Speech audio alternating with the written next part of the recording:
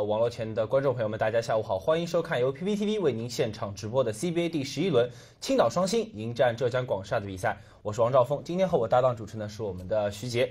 是，呃，可以说青岛队对战广厦队啊，这一场看似没有悬念的比赛，其实我觉得今天下午的比赛不一定会非常沉闷。对，首先青岛双星上一场战胜了八一队，可以说结束结束了自己的一个两连败，而青岛队的三位新外援啊。我们知道拉莫斯是之前浙江广厦，可以说今天是面对旧主，是这是一个看点。面对把自己放弃的旧主，拉莫斯可以打出怎样的恐怖的表现？我们一直说拉莫斯这个篮板怪兽，只要不偷懒，他在 CBA 这个水平的比赛上是可以打出非常恐怖的数据的。是没错。此外，青岛队还有一个刷分机器呢，是约什。嗯，呃，之前在辽宁队，可以说约什已经证明了自己的得分能力。今天面对到浙江广厦这一支前几轮。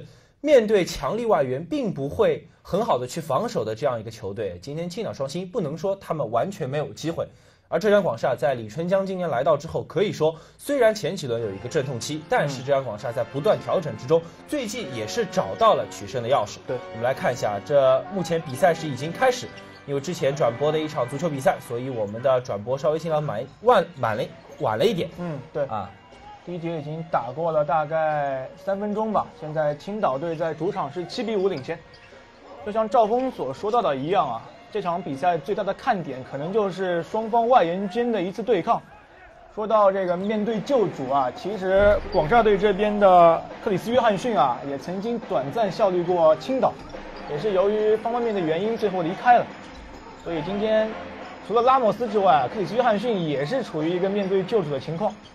如果说啊，拉莫斯的这种身材和比例啊，放在 CBA 中就类似奥尼尔的话，那克里斯约翰逊就相当于麦基这样子的一个。对对对，我也可以说是两个非常强力的内线球员今天的一个对抗。是我们看到开局青岛队是以七比五领先，因为之前我们也没有进到现场，没有看到之前的情况。嗯，我们看这边是二号约什，今天拉莫斯一开始是没有出场。对，我们来看一下双方的首发阵容：青岛双星杨根林、张耀生、桑尼。呃，阿格列侬、王刚这边已经做出了一个换人调整，换上了冯奇。而浙江广厦这边目前没有做出换人调整，首发阵容是王子睿、孙鹤南、林志杰、张伟以及克里斯·约翰逊。嗯，王子睿这边刚刚也是命中一记三分球。嗯，克里斯·约翰逊这个类型啊，就像赵峰所说到的一样，那可能是一个，呃。弱化版的麦基吧，没错，他在防守上的作用远远大于他在内线的作用。对，可能这个跑跳能力是没话说，但是只要你在他前面站住了位置啊，不让他起跳的话，那他攻击力就没有那么强了。没错，呃，可能说签下。签下克里斯·约翰逊最主要的考虑是由于，呃，王子睿也好，他们的乔纳森·吉布森小外援也好，林志杰也好，孙鹤南也好，在外线能够给到充足的火力。对，前一阵浙江广厦队关键的输球啊，全都是在于第四节防守上的一些漏洞，是被对手打出一波进攻高潮，最终带走胜利。哎，所以说浙江广厦做出这个换人调整啊，换掉自己之前的大外援佩特罗，也是出于在防守端的考虑。我们知道克里斯·约翰逊，我上一场解说他的比赛。盖帽能力、篮篮板能力真的是非常可怕。嗯，面对有“直升机”绰号这样称号的，呃，新疆队外援辛格尔顿，他是完全不落下风。没错，克里斯·约翰逊之前也是在 NBD 啊拿过最佳的防守球员。来到浙江广厦打了这几场比赛过后啊，也是场均可以得到一个两双的成绩。但是说到底，广厦球队到底能不能打得好，能不能赢球，还是要靠几个外线的球员的发挥。没错，刚才孙鹤南就上演了一次非常漂亮的突破上篮。孙鹤南这个赛季的进步是很明显的，场均也是能够将近拿到十五分啊。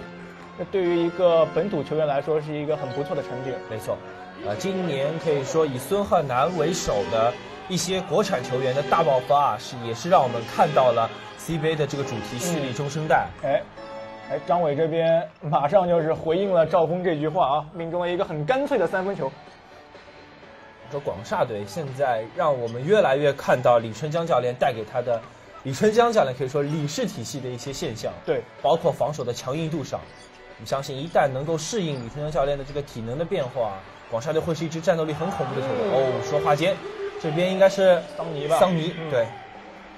桑尼这两次呢，克里斯·约翰逊的起跳时机也没有判断的很准确，两次都差了一点点。呃，有球迷说为什么没有图像啊？之前的信号可能是在转播澳超联赛，所以说这会儿图像应该是可以收到，请呃也请各位观众能够刷新一下。对。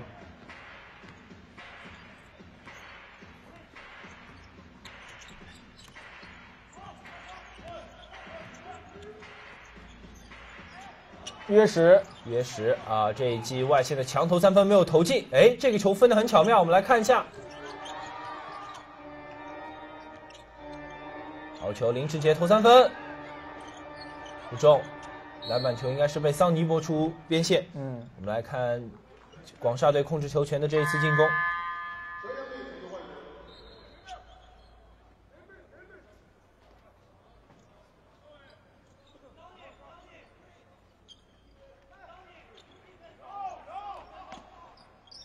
苏若雨。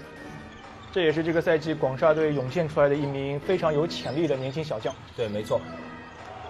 我们来看这边失误，约什速度非常快。哎呦，这边打手犯规，这个球也是顶着对方张伟上，张伟也是没办法，这个球首先跳不起来。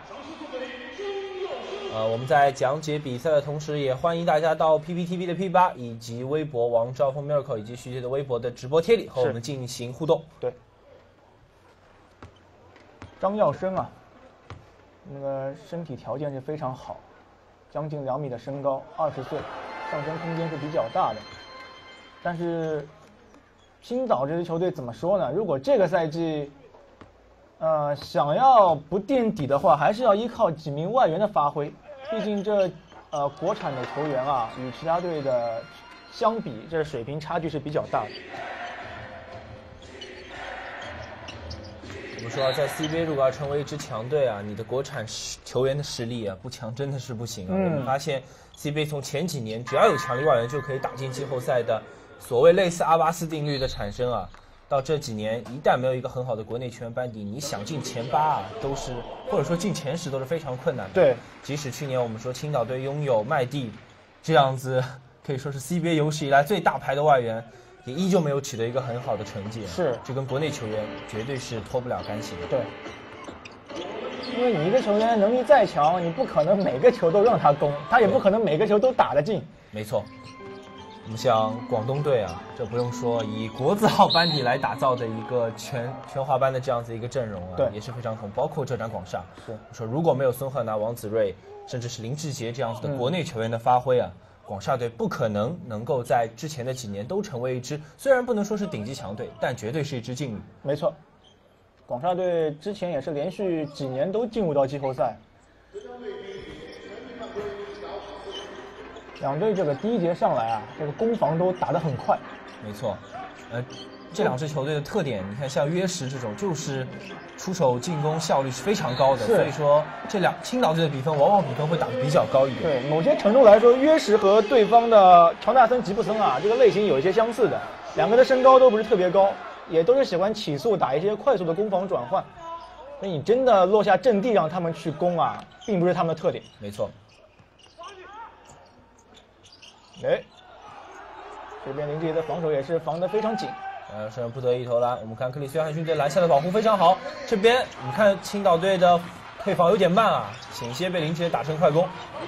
林志杰，哦呦，林志杰这个球时直接传给了青岛队的杰森手上。我们看这边胖胖的杰森，也是刚刚到任青岛的新主帅，之前在江苏队效力，之后是因为战绩不佳被裁掉。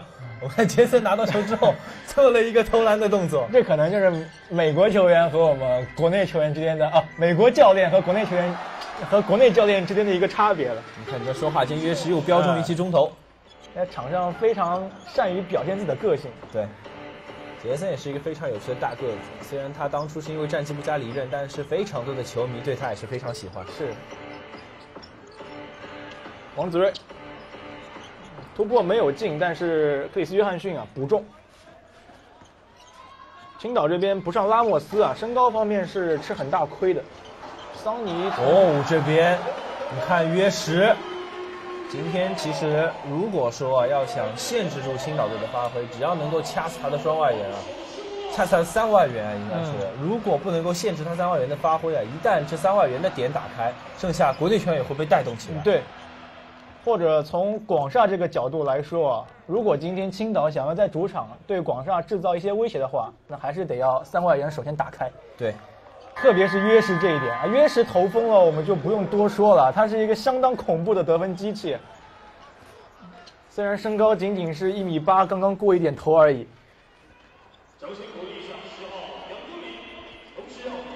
今天啊，青岛雕像在主场拿下广厦队啊，可以说其实广厦队的主要进攻点依旧还是放在了外线。所以对于林志杰也好，对于乔纳森吉布森的限制也好，是今天能不能够限制广厦队的关键。这边说话间，张伟又命中一记三分球。嗯，这边仅守二三联防最怕的就是能够在四十五度命中三分球。对，张伟这个四号位是有外线投射能力的。你看这边马上对约什做三双人包夹。可以说对广厦队守二三联防并不明智啊，他拥有林志杰、乔纳森·齐布森、张伟、孙鹤南这样子的三分手啊。是，可以说啊，轮换球员当中除了王铮和克里斯·约翰逊啊，其他都能投三分。我们看克里斯·约翰逊听完这句话，觉得啊，你不能这么说，我投给你看。还还是进了一点啊，没有标一个三分让我闭嘴，对吧？对对对。好，我们来看这边林志杰，又是前场三打四慢下来推进攻。哎，张伟这边早就等着了。好的，好球，克里斯汉逊。哦哟，哦，我们前面说到啊，他这个弹跳非常恐怖啊。薛阳这个球一旦顶不住他，让他起跳起飞了，那就没有交枪了，那一定是灌篮最后终结。薛阳这两个赛季的进步也非常有限啊。呃，当初是被誉为有希望进入 NBA 的这样子一个国产球员，最后还是。可以说，在国内的这样子一个训练体制下，还是没有办法能够打出来。我们看这边广厦队抢到四打一，哦，今天好球！克里斯约翰逊漂亮啊，这个球，不出意外，这个球应该是可以进入到我们的霹雳五加球啊。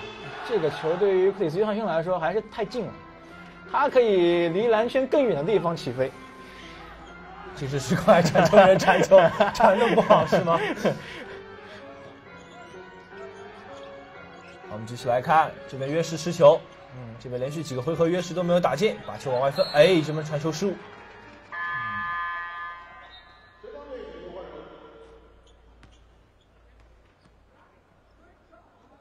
哦，这个把之前完成两次暴扣的克里斯约翰逊换下了，换向乔纳森吉布森。乔纳森吉布森场均也是能够拿到接近三十分啊。这个场均得分在 CBA 的所有球员当中是排进前三的，之前是拿过欧洲联赛的得分王啊。对，可以说吉布森的得分能力不用质疑。但是这几场比赛看下来，吉布森对于出手的选择啊，甚至有些关键时刻，李春江会把吉布森拿下来。嗯，就是因为他一旦投进一两个球之后啊，这个球走步没有问题。呃，但是啊，前面话又说回来，吉布森对于关键球的这些处理啊，特别是当广厦队比分咬进的时候。呃，被咬进之后，吉布森就会做一些很疯狂的出手。是。上一场球阻挡犯规。嗯，上一场广厦打山西那场，吉布森就是非常迷恋于去和对方的啊威廉姆斯在比拼一个外线的实力。对。所以那场球打的也是一般，最后还是凭借着国内球员的出色发挥拿下对方。但是不得不说啊，我真的是很羡慕中华台北队有林志杰这样子的外线得分手啊。对，林志杰经过亚锦赛的洗礼之后，可以说无论在进攻水平还是防守的强硬度上，在今年的信心上又有一个非常大的提升。是，林志杰呢是一个非常全面的球员，他可能你看他的场均得分也就，其实还没有孙鹤南高，但是他无论在篮板和助攻上的表现啊，都是给到球队非常大的帮助。所以就。之前也和我们这边解说的张大伟老师，还有呃另外一位老师聊到了中华台北队的情况。那么最直观的一个感觉就是，中华台北队的球员最大的特点就是比较聪明，对，然后打球都很合理。你并不是说林志杰有超强得分能力，他就会盲目的出手，他还是会非常好的去选择一个攻击的时间和手段。没错，之前我们看。PPTV 有做到一个关于呃陈建州的一个采访啊，陈建州也说他们台北中华台北的篮协也已经做出了一个送高中学员去美国的这样子的一个五年计划。是这个计划，上一次我听到的是伊朗队，哈哈达迪，哎，巴赫拉米这一批。对但是我们看到五年之后的成效，就是在亚锦赛上，伊朗队的强势崛起。嗯，所以我们说啊，我们现在是确实需要反思。我相信提出蓄力中生代，这不仅仅只是一个口号，没错，也是能够继续巩固我们所谓的亚洲霸主这样的一个地位。嗯但我们发现这两年确实，亚洲的其他对手进步都太快了。是你看这边再出手三分球，张伟。好的，约什手很快啊约什，手太快了，三打二哎，这球被吉布森破坏掉。这个球约什这个跳起传球右侧的这个想法太过明显。说到中华台北球员啊，除了林志杰之外，这个赛季在新疆的杨敬敏的表现也是非常好。对，嗯，可能就是洪志善刚刚去到山西，这个与球队间的磨合并没有做得很好，他的发挥稍微弱一点。哎，包括曾文鼎这个赛季和前两个赛季相比啊，在上海队的作用也逐渐的提升起来了。对，呃，今年可以说啊，中华台北队的球员已经成为了今年呃国内引援的一个香饽饽。对杨敬敏也好，林志杰也好，呃，包括本来说有可能会就此退役的洪志善也被山西队紧急签下。嗯，可以说，今年中华台北在亚锦赛上的表现，嗯，是让很多人觊觎了中华台北的国内球员实力。来，洪志善啊、离退役还早了一点，就是可能就是呃有消息说他要回到 SBL 去打球，但是最后呢，由于山西队今年没有留住吕晓明啊，这个在薪资方面竞争不过风格类似的竞争不过四川，所以找了一个风格相类似的后卫。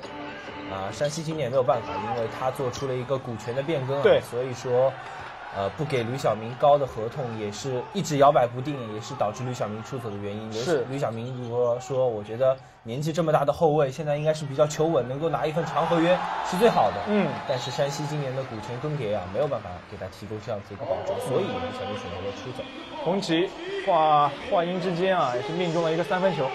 也是压哨吧。对，好，那这样应该是第一节比赛结束啊。应该是二十九比二十五，青岛在主场领先四分啊。出现这样一个情况，可能就像赵工之前所预测的那样，就是青岛随着几名外援逐渐打开啊，带领着国内球员打出了这样一波攻击潮。第一节不但能够咬住比分，反而在结束的时候领先四分。看投篮命中率方面啊，百分之六十一点一的命中率，真是太恐怖了。对，而且其他从篮板啊、助攻各项数据方面啊，都是不落下风。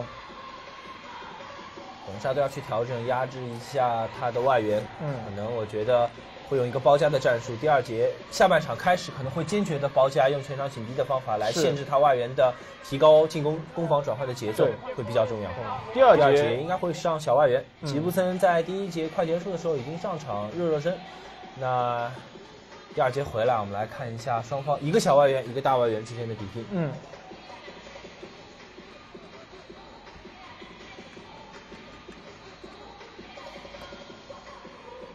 还是再来聊一下中华台北队的情况啊，因为我在夏天也是去到中华台北那边有过一段学习的交流旅程，和他们的球员聊了一番啊。周峰，明年在 CBA 可能会有更加多的中华台北队球员出现。当然，包括像田磊、像吕正如、像蔡文成这样中华台北队的几名主力球员啊，合同都到期了，明年可能他们会出现在 CBA 的球场当中。其实姚明也是说到一个亚洲外援对于，呃，对于我们在亚洲赛场上面的，一就是 CBA 是培养了一群亚洲的球员，所以打到亚洲赛场，可能对于中国队来说影响是比较大的。但是就算我们最终取消了亚洲外援这个名额，但是对于中华台北球员的限制还是没有。其实我觉得所谓的这种亚洲外援的培养啊，呃，并不是成为中国队在亚洲篮球的水平可以落后的原因。嗯，对，我们乒乓球也培养亚洲对手、啊，是但是你从来不会听说中国队打乒乓球输给亚洲队。对这只能说是我们在训练上已经出现了一些问题。是。或者从另外一个类比来看，你去到美国 NBA 的球员，那这样的话对，就没有国际我们就球员了。不用去选啊帕克，我们为什么要选帕克和是德科诺维斯基呢？所以说还是要从自身的角度去找一些问题。如果我们实力够强的话，你就算开放三到四个亚洲外援的名额，让他们都来，我们都不怕。对，没错。呃，为什么会今天谈论到中华台北这样子，或者说亚洲篮坛的这样子一个氛围啊？是因因为这两支球队身上有非常鲜明的特点来阐述中国现在的情况啊。是，依旧是前几年太，我们看这边，薛洋啊不保护球，马上又失球被吉布森超断，连拿四分了，吉布森这样追平了比分。关键就是，首先青岛队去年拥有一个大牌外援，但是他国内球员实力不济，最终不说八强，前十名都没有能够进入。对，可以说青岛队去年应该是整个联盟垫底的这样一个球队。哎，而浙江广厦不得不说，这两年他的球队强劲不仅仅只是因为他的外援，嗯，因为我们知道拉莫斯向来都有出工不出力的大外援这样的一个称号，是，所以说。可以说，浙江广厦这样一个强队跟他国内球员的不断进步是非常有关系的。去年的赵大鹏，今年的孙鹤南，嗯，再包括一向都很稳定的林志杰，再加上这两年进步的后卫新星王子睿，嗯，可以说浙江广厦队要细数下来，完全不会有人记得他们前几年的外援选了谁，而是这批国内球员给我们留下非常深刻的印象。是，这是一个非常好的，也是 CBA 球队应该去走的一个方向。没错。好，说话间，青岛队四分的领先优势现在仅仅只剩下两分，三十一比二十九。拉莫斯回来，青岛这个阵容身高是很高的，桑尼、拉莫斯再加薛宇阳，都要超过两米零八的样子。薛宇阳大概两米一零出头，两米一零出头，他当初是应该是一个三四号位的摇摆人，是很符合当时帕特莱利对现代篮球的这样子一个理念。哦哟，这个吉布森啊，第二节上来果然是火力全开啊！一个突破上来，一个抢断之后的反击，这边又命中一个三分球。啊，反过来，呃，吉布森换位到了对对上桑尼，这个身高差的比较多，桑尼也是硬吃了他一个。林志杰分到外线，吉布森好球，吉布森这一步点开，再给回林志杰，林志杰再传，哎呀，好球，这一套打的是非常流畅啊。嗯。不得不说，林志杰的这个传球意识真的是非常不错。对，其实吉布森和林志杰啊，之前两次都是有三分出手的机会，但是两个人都很无私的选择了传球。林志杰这个球也是单拔起来做了一个假投，真传给插到内线位置啊，位置更加好的苏若雨。好，这边拿下桑尼，桑尼也是打了一节多的时间，嗯，可能犯规次数也多了一些。嗯，青岛队的这帮国内球员，我们还是要好好认一下。嗯，光从这个脸来看啊，我们 基本上认识的不多啊，太少了。对。其实话说回来，青岛之前那个赛季有麦蒂为我们所熟知之外，之前那个赛季从上海租借去了李根和蔡亮，那个赛季打的还是不错的。那赛季应该是打到了第八这样子的位置。是。李根也是在那年打出身价。但是没有办法，就这两名球员是处于一个租借的状态。李根呢也是竞价不过北京，留不下人。所以青岛这边广厦果然全场紧逼。嗯，这边是可以说四个国内球员再加一个拉莫斯，是个一大四小的这样子的一个阵容。哎，你看薛洋是当一个迷你的四号位在用。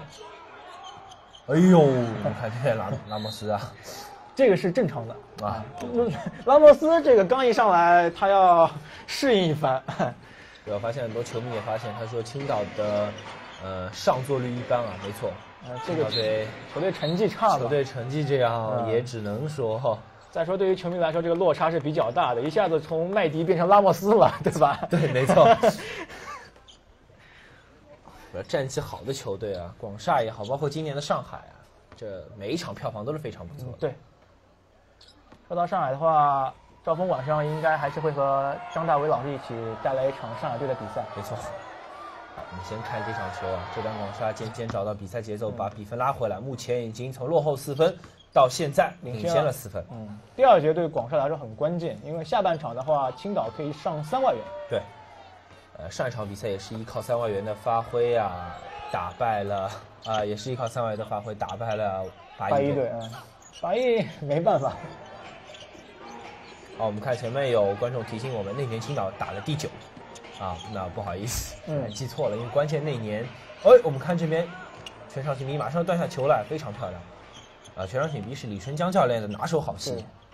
但是无论那那年打了第几，那年的成绩可能是坚定青岛队的高层在来年签下麦迪的一个很重要的原因。但那年最后人都走光了啊，我们来看这边，哎，速度非常快。刚说完防守，这边广厦队一路漏人，嗯，这边让冯奇上了一个很轻松的空篮。你让王真跟着他跑，这不是，这不是在，哎，哎呀，做解说就怕刚夸完就被打脸。这边广厦同样用一个双人紧逼，遭遇包夹。这个球没有吹进攻犯规吗？我们看王真的中投。被拉莫斯拿到篮板，拉莫斯这个拉莫斯往内线一戳啊，拉莫斯也是跳都不跳就收下篮板球。这个拉莫斯在 CBA 里面对于禁区的覆盖面真的是太大了。是。哎，青岛有没有和四川打过？拉莫斯对上哈达迪倒有的一看啊，打过打过。青岛今年已经是打过四川队了啊。这两名球员的风格我感觉是比较像的，都是比较偏慢的这种类型。但是哈达迪的这个比赛的态度要比拉莫斯好太多了。哎，可能那场哈达迪是不是还没有复出啊？那场哈达迪复出了，那场哈达迪复出了。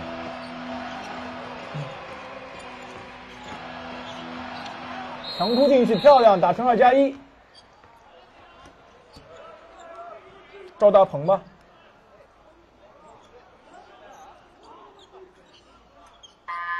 呃。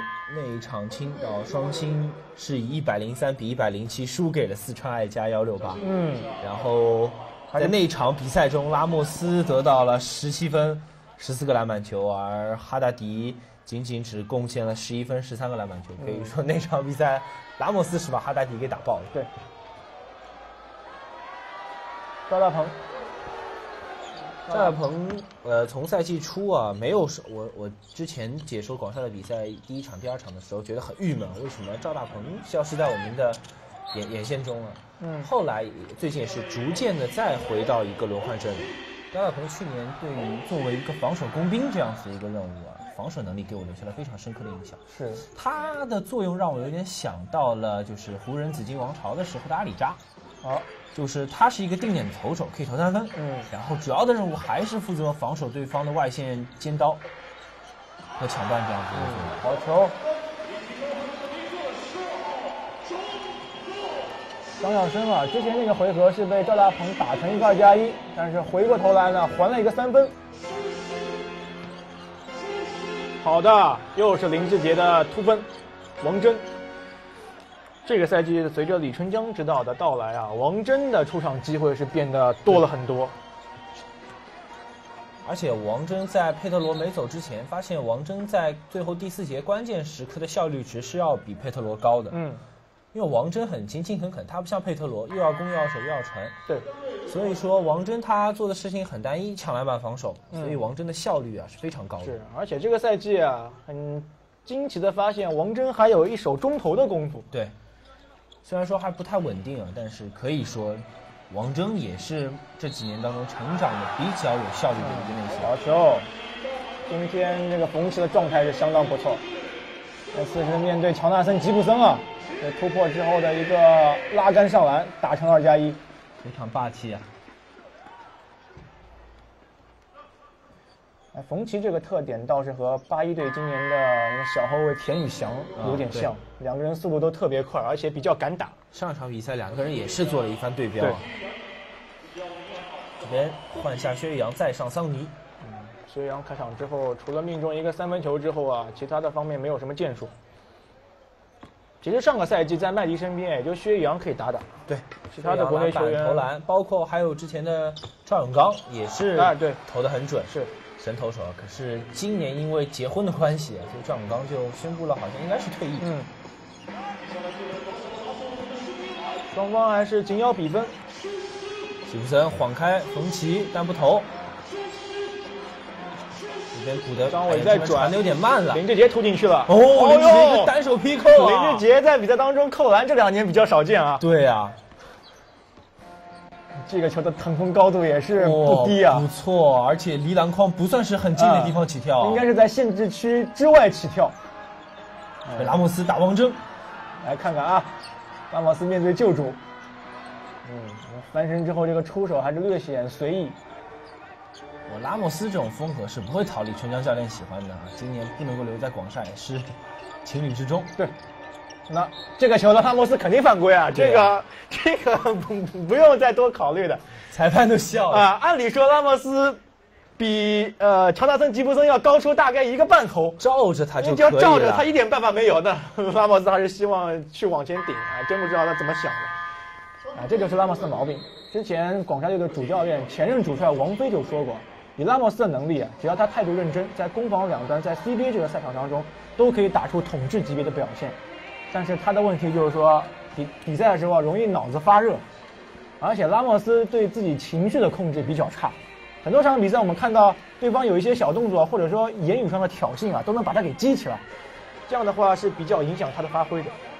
这也是一个很重要的原因，限制住拉莫斯。这也就是为什么拉莫斯没有能够作为波多黎各的主力中锋啊。即使波多黎各在那年奥运会能够把梦七干掉，把梦七干掉之后啊，拉莫斯可以说应该是有机会进入 NBA 的。但是拉莫斯因为他的这种各种原因啊，可以说不是由别人造成的，是拉莫斯拉莫斯自己的性格造成的。还是那句老话嘛，性格决定命运。对。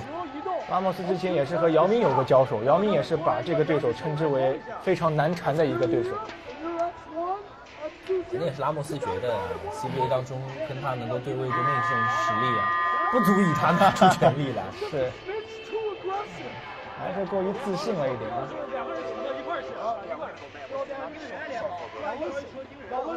但就是每个队在做战，我相信如果是教练在做对手对到拉莫斯的时候啊，一定不会跟球员说，哎，他就这个脾气不用管他。拉莫斯，你保不好他哪晚哪晚想认真打就很可怕。对，但是应该会向球员告诫一下，就是关键的时刻你可以用一些小伎俩去逗逗他。对，那年应该是，呃，哪支球队是广广东宏远对上广浙江广厦嘛？我记得有个球员采访过，他说。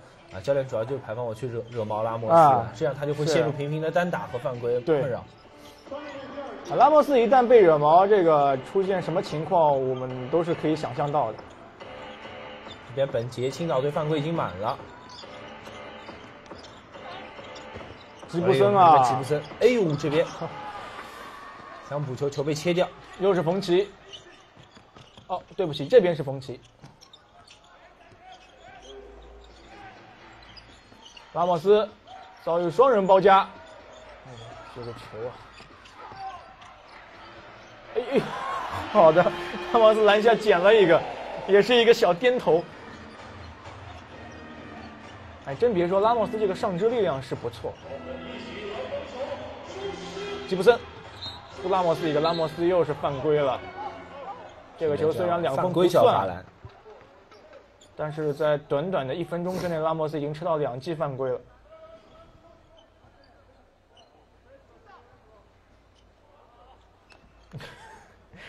哎，拉莫斯犯规完之后这个苦脸啊，我们也是看了好多个赛季了。对哈，呃，一脸无辜，长得用现在的话说很萌啊。他每次一脸无辜的看着裁判，但其实是真的是犯规了，也怪不了裁判。吉布森罚球，第一罚命中。呃，这样吉布森就得到了十一分。嗯，呃，如果两罚全中是得十一分。嗯，吉布森第一节后半段上来之后啊，效率还是很高。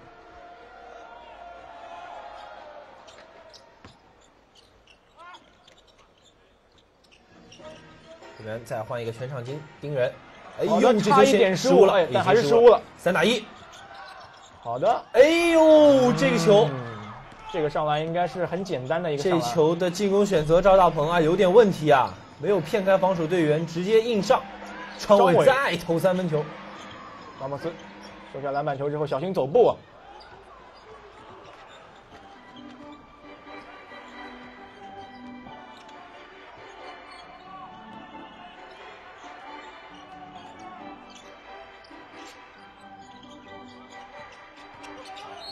哎哎呦这边。防守的时候，绊人了，嗯，应该是十三号王峥吧？嗯，王峥这好像是胯部有一个上顶的动作，来看啊，嗯，这没没有办法，王峥这个撞在王峥身上，真的跟撞在一堵墙身上一样。对，王峥之前也是由于广东内线太过于人才济济，打不上球，所以只能转会。苏伟也是啊。今年苏伟在新疆队的表现也是非常不错。说到这个苏伟啊，今晚就是新疆打广东，苏伟要面对旧主了。对。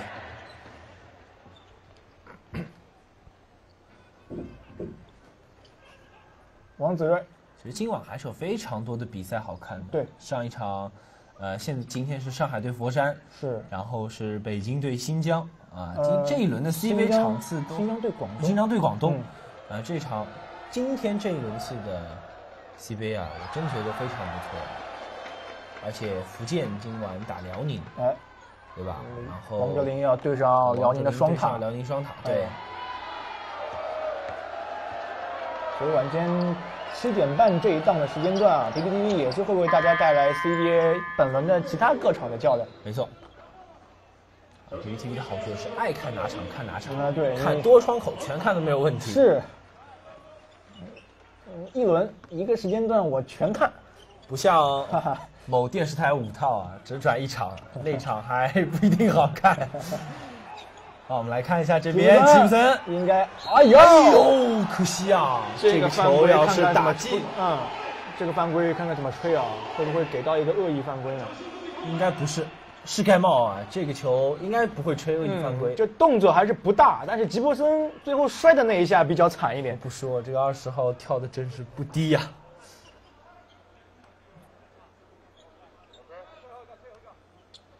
应该是张耀生吧？嗯，跳的真是不低啊！是，哦，不好意思，是唐海，唐海，吉布森，罚球线上保持着百分百的命中率。嗯，没错。一般来说，在直播间不能说罚球啊，我们来看这两罚。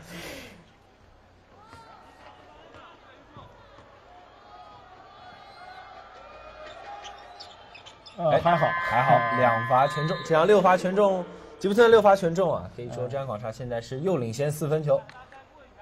换下赵大鹏，可能是因为对前一次那个进攻啊，我也觉得三打一的进攻自己拿着球打，实在是不太合理。对，来看这边上孙鹤南、王子睿、吉布森，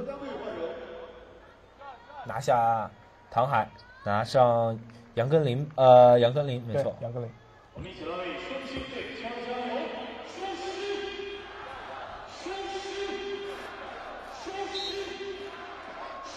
我们这边换一个后卫，张君涵出场。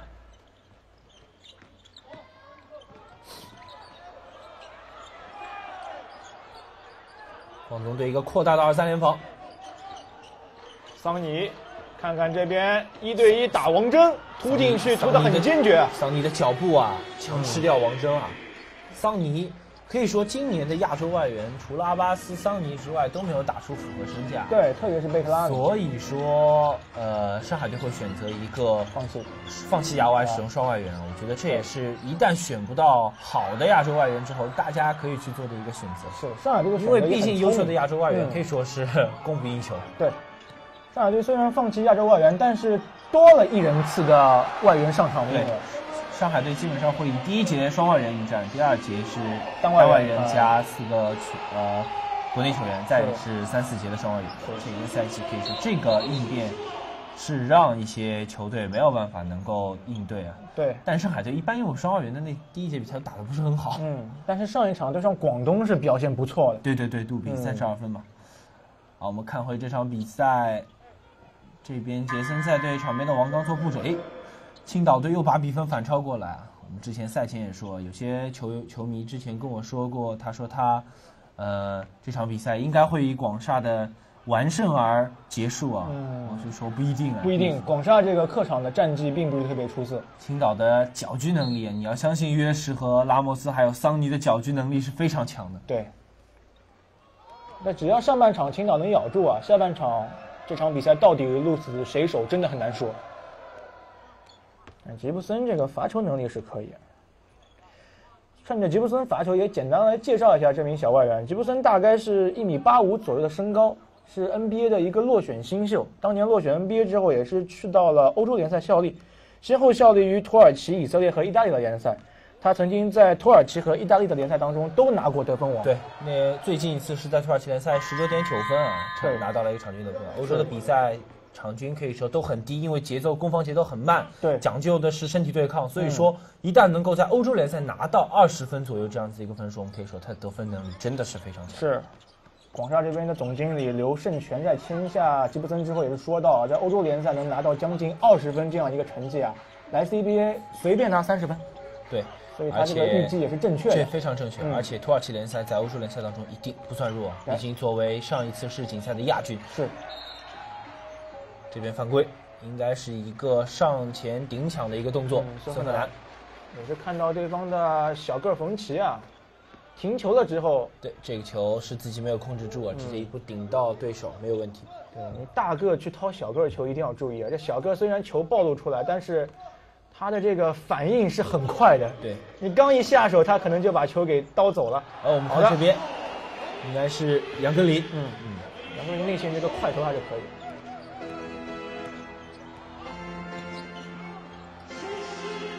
志杰，可惜约翰逊上来做一个挡拆。哦，李志杰这一步被顶开。死球了，时间不多了，时间不多，八秒。张伟去图桑尼亚，这个打的好的。嗯，虽然这个球没有上进啊。哎呦，我们看这边，哎呀，没有给。我也是知道克里斯约翰逊啊，也是不敢给，不太敢给，也是。嗯，克里斯约翰逊这个球还好没碰到。孙河南收下篮板球。哦呦！前线把球断掉。王刚，王刚是一个打球的拼命三郎，这是他的一贯风格。我们看杰森在场边抱着林志杰说话，啊，真的这一幕也是非常搞笑啊。是，可能，可能之前两个人也是有认识。对。中华台北的球员和美国教练之间的接触应该不会少不少。我们的呃，可以说中华台北跟美国的篮球的交流非常非常频繁。主要之前被江苏队裁掉的简浩也是。之前在美国打过球，嗯，是。回的中华台北队。包括我们说今年他们的规划前锋西戴维斯也是来自美国的一名老将。有李纯江在的球队啊，比较有意思的一个看点就是暂停了以后听听他怎么说。对，每次李纯江教练的这个东西都会作为固定的一个碑。对，李纯江的那句收音的关键的那句就是让我们记忆犹新的一句暂停的话语啊。总决赛的总决赛的时候的那两个字嘛。是。我们也不多在这边重复了，大家 如果不知道的可以上网去查一下啊。李春江总决赛说了什么？啊，这也是现在成为了大家茶余饭后讨论的一个热点。对。杰森这个执教的风格有点类似于，呃，之前上海队能够蹲下来。对，今年这个 CB 的赛场，我发现一个情况，就是由于场边这个广告牌是挡在了呃替补球员席的前面，很多主教练都是选择在广告牌的后面站着去布置战术。但是杰森啊，这个身材竟然能坐进去，我们也是比较难以想象的。杰森其实非常照顾我们，因为广告牌有 PPTV 的广告，杰森不挡住，杰森一挡就只剩下就没有了，就两边留白啊。杰森不挡住啊，PPTV 还在露出来。好，我们继续来看比赛。张伟这个中投也是没有中，五十一比五十，青岛领先广厦一分。杨根林找不到人传球，外线干脆自己投一个三分。天哪，我们看这边是谁？是王刚吗？冯奇。冯奇，嗯，哦，今天冯奇的表现倒是真的非常不错。嗯，一个王刚，一个冯奇啊，敢拼敢抢啊！孙河南又是跟不住冯奇，因为冯奇对孙河南来说太小太快了。冯奇只有多高啊？这个球蹦的还很高啊！冯奇是一米八六啊，啊，还没有到一米九零的个子。只能再拿下薛玉阳。嗯。还是桑尼在场上的效果好一些。冯奇今天已经拿下八分，一个篮板球，一个助攻。但他给到球队的帮助啊，显然不是这些数据可以体现的。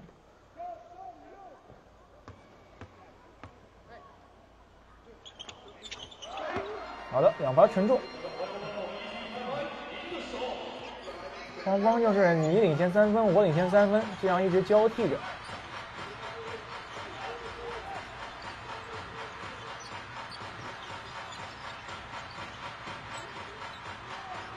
内线这边换位到了约什去防张伟，又被冯奇断掉啊！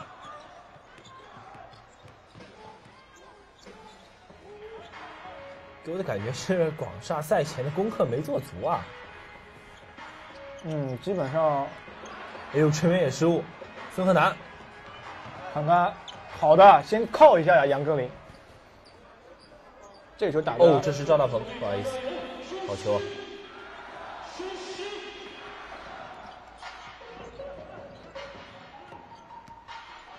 约什，好的，克里斯约翰逊真是蹦得高，啊，但是蹦完之后啊，也出现了一个麦基式的失误，莫名其妙的把球传出了边线。那他比麦基好的一点就是说，他不会抢完篮板球一条龙，然后到前场摔一跤。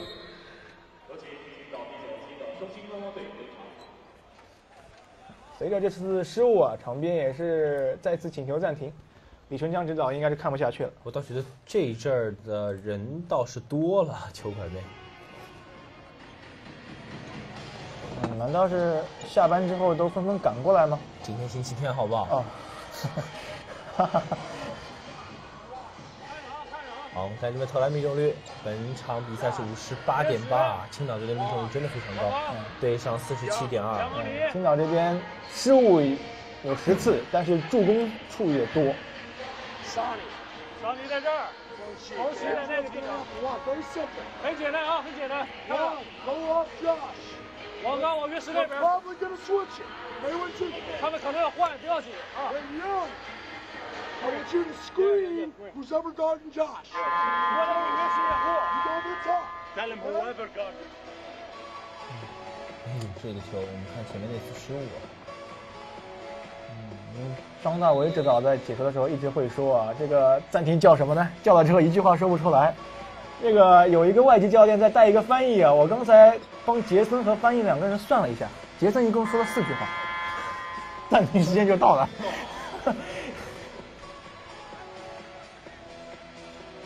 所以可能啊，这帮球员也是云里雾里的就开始上场了。对，基本上就是杰森说一下，你站这，你站那，好了，差不多了。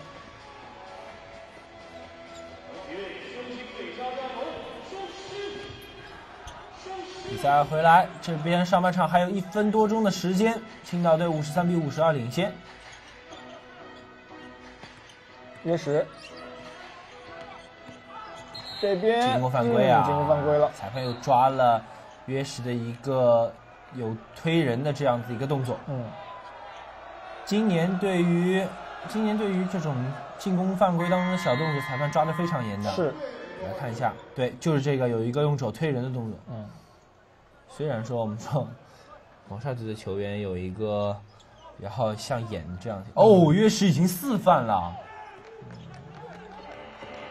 那下半场来说，约什压力就会非常大。对，约什四次犯规对青岛来说是非常不妙。上位三分球，出手就偏，可以虽然去拿到篮板。翻身投一个冲投，这个不是克里斯约翰逊的得分点。克里斯约翰逊这个赛季能够出现在 CBA 的赛场，也是令多少专家是感到意外的。上个赛季在森林狼打一个替补，克里斯约翰逊也是打得很好，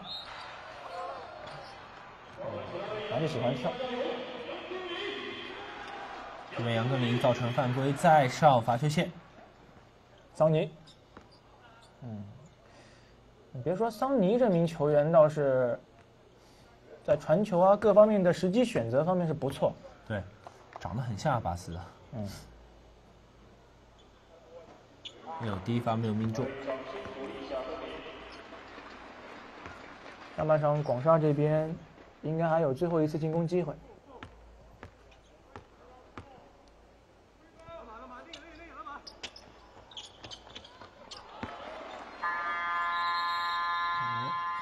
二十九点七秒。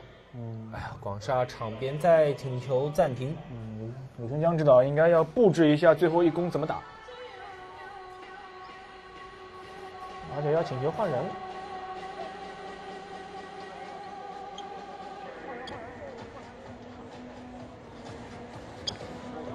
李春江教练应该也是把爱子带在队中吧？对，李金龙。对，李金龙。呃，之前有过上场，呃，可惜只得到了两分。是，之前那次上场呢是五中一，表现的不是特别好。赛后李春江指导也是直截了当的说了，打不了就别打了。对，还是真的打不了，那也没办法。好，有球迷问约什几分了？约什四发，呃，但是贡献了九，仅仅只有九分，五个助攻，但是又出现了六次失误。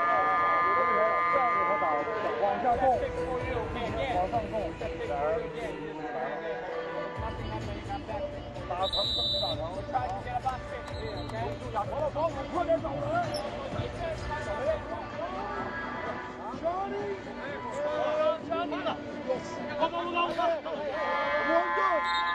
那个暂停的时间啊，杰森除了布置战术之外，还要找人，找人还要找个几十秒。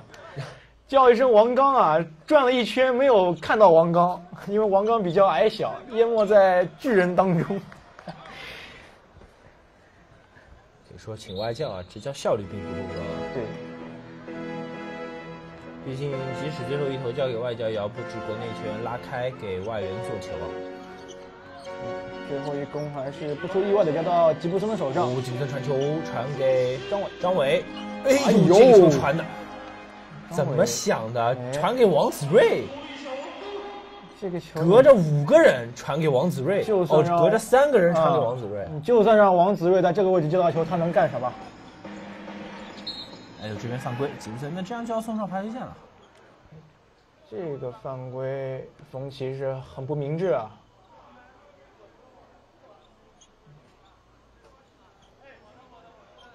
这样自己可能还有十五点三秒的进攻机会。嗯。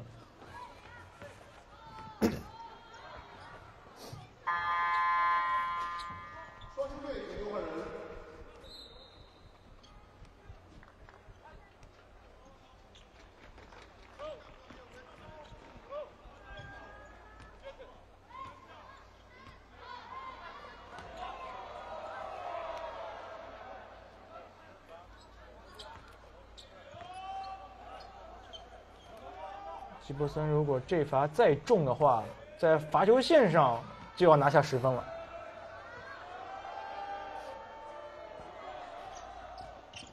果然很稳的。最后十五点三秒，青岛队的球权。嗯，约什在要球，应该还是给到约什让他来打。约什突破抛射漂亮，不停球的这边停表。上半场比赛结束，应该是五十六比五十四。约什的最后一攻是打得很坚决，这一记抛投也非常漂亮啊。对，呃，好，回到直播室，上半场比赛结束，青岛双星是以五十六比五十四。暂时领先于浙江广厦，可以说上半场的这个结局我们俩没有想到，哎，对吧？赛前的预测都是觉得广厦队拿下这张这场球可以说是顺理成章，并且有希望在上半场要解决战斗。可是，可以说青岛队今天不打算让广厦队在客场很轻松的拿走这一场胜利。对我们从今天的这个哎给出了上半场的技术统计啊，二十九分二十七分，青岛队这两节的比分真的不算很低，嗯。二十九比二十五，这一节浙江队的进攻倒是有所回暖，但投篮命中率方面，青岛队还是很可怕，五十八对上四十五啊，三分球命中率的五十对上四十，罚球命中率百分百对上九十二，篮板球双方不相伯仲，但是青岛队有九次失误，嗯并且有六次是约十贡献的。对，其实还有一个数据是我们这个技术版没有给到的，青岛队虽然失误比较多，但是助攻的次数也不少。对，所以可以说今天整个来说，青岛队有那么高的命中率。是和约什的一个串联是分不开的。约什今天也已经贡献五次助攻了，就是那个硬打的次数并不是特别多，对，还是能够把啊除了拉莫斯和桑尼之外，其他一些队员串联在一块儿，呃，空位出手的机会明显要比顶着防守队员出手的机会命中率要高一些。对，没错，呃，可以说上半场青岛队整体的出色发挥是让浙江队非常的头疼，而浙江队这边。国内球员，我们之前提到的这样这样对国内球员的强盛啊，并没有在上半场完全打开。对，但是我们也说，百分之五十八的这样一个投篮命中率，对于一支球队来说是不正常的。嗯，不能够可能说你四节都有这样子一个非常高的能投篮命中率。所以说，青岛队在下半场怎样来能够面对外线手感不佳，而调整到到内线进行得分、提高命中率这样的一个方法方法。可以说下半场这还是会一个看点，是三万元对上双万元，没错。我们稍事休息，下半场继续回来，来继续观看下半场的比赛。我们下半场再见。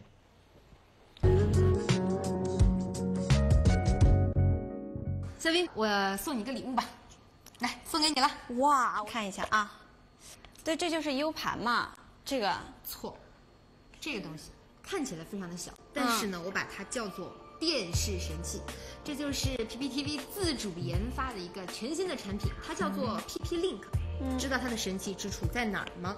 现在经常用手机上网，或者经常在床上躺着玩 iPad，对吗？嗯，是不是这个电视已经被你忽略了？嗯，是的。但是当你在手机上看，或者是在 iPad 上看电影的时候，会不会又觉得屏幕很小，不够爽？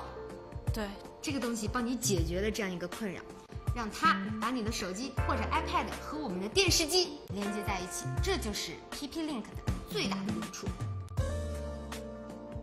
好，我们首先可以看到呢，它呢其实是有两个接口的。将这个电视棒打开，有一个像 HDMI 一样的接口，而这边呢是一个 USB 的接口。那么非常的简单，咱们的电视机也都是有两个接口的，对吧？嗯。我们将这个 HDMI 的电视棒上的接口连接在电视机上，而另一边的这个 USB 接口连接在电视的 USB 接口之上。好，这样我们的连接工作就全部完成了。就这样就完成了。对，这个完成了之后呢，还没有完成我们全部的工作，接下来就该进入我们今天的设置环节了。哦，还有设置环节。好，接下来要做的呢，就是拿上您的手机或者是 iPad，当然最关键的一步就是必须给它下载一个 PPTV 的客户端。哎，这个是非常重要的啊，一定要记得下载这样一个客户端。我们可以看到，这个电视上其实已经出现了一个画面。将您的电视机呢，首先进入到 HDMI 的模式。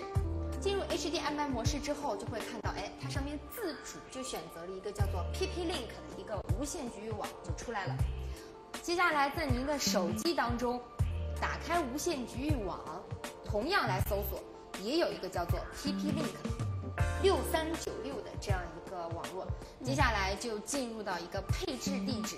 一零点一点一点一，在浏览器上输入地址栏的地方，输入这个配置地址，接下来就已经可以连接上了。此时呢，您的手机或者是 iPad 将会进入一个全新的页面，这个页面呢需要您输入该无线网络的密码，也就是您家的无线局域网的密码。全部输入完毕之后，我们点击完成连接。这个时候设置就已经保存，这边显示的状态是正在连接，当然它的连接速度是根据您自己家的这个网络速度而定的。您的手机和 iPad 和我们的电视已经连接成为了一体。我们进入这个 PPTV，任意点一个要播放的东西。这样的话，那我的手机也在放，我电视也在放，那岂不是同一个视频耗着我两台机器，很不方便？哎，您再看一下这个手机，你看，它是在放的吗？其实并没有啊。也就是说，当你的手机有人要来电，或者是有人来短信，更或者您要回微信跟朋友聊天的时候，完全没有关系，您自己该做什么还是做什么。而电视机上的画面仍然是您想要看的这个视频或者是电影电视剧的画面。这样您坐在这个沙发上，对吧？喝着茶，嗑着瓜子儿，吃着零食，就可以来遥控眼前的电视机了。泡在 PPTV 上面，看着这个用手机连接，用电视机观看，非常的不错。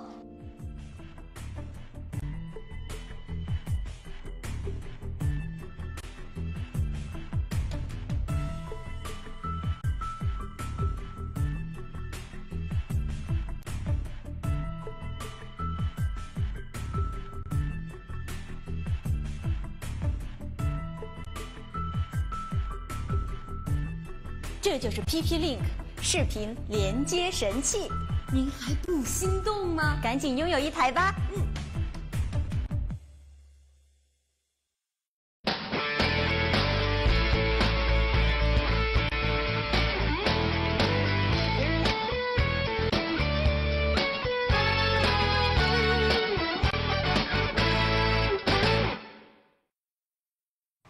欢迎收看第一体育霹雳 CBA。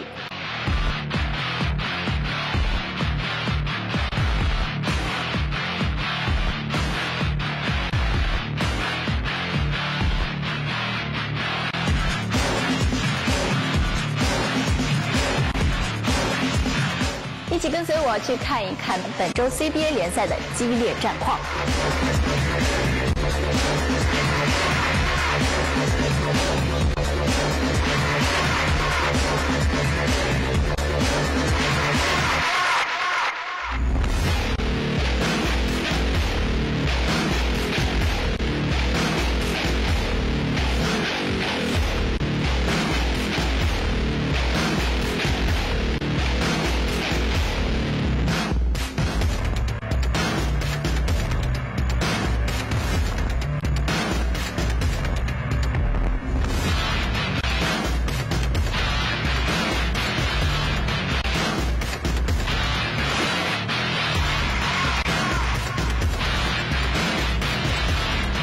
看看本周十佳球，进攻防守全都有。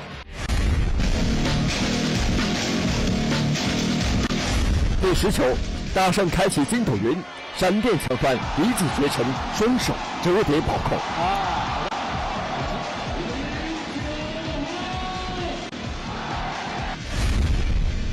第九球，天津全队配合目不暇接，威廉姆斯灌篮完成最后一击。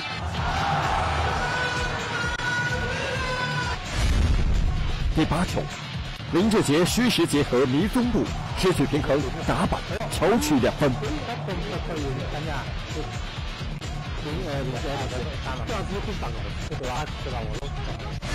第七球，广厦双煞联手，杰布森声东击西，妙传佩德罗双手灌框。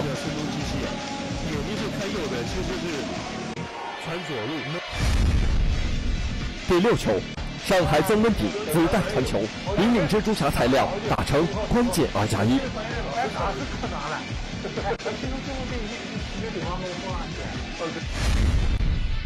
第五球，哈德森如猛虎下山，光速突破，以一敌二，失衡极限拉杆。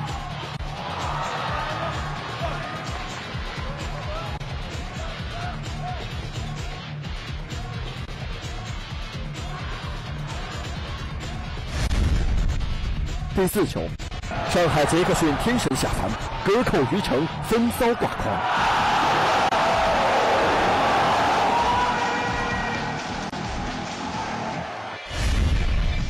第三球，阿联铁线接怀特妙传，远扣天津阿巴斯。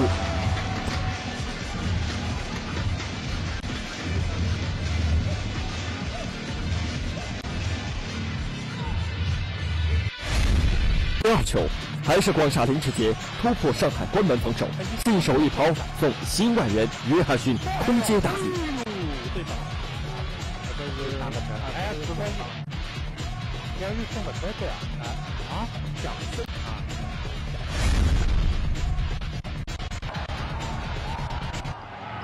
本周十佳球手球，吉林华丽篮球继续，道格拉斯仍然挂角，空接托尼展现恐怖弹跳。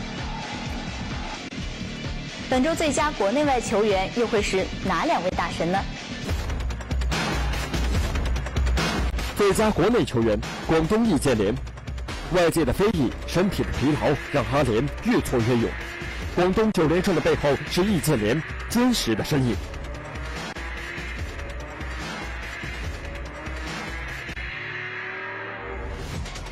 最佳外援，本赛季上海大鲨鱼一鸣惊人。大外援杰克逊功不可没，无论是疯狂的前场篮板，还是无法防守的逆天中投，都是上海队胜利的基石。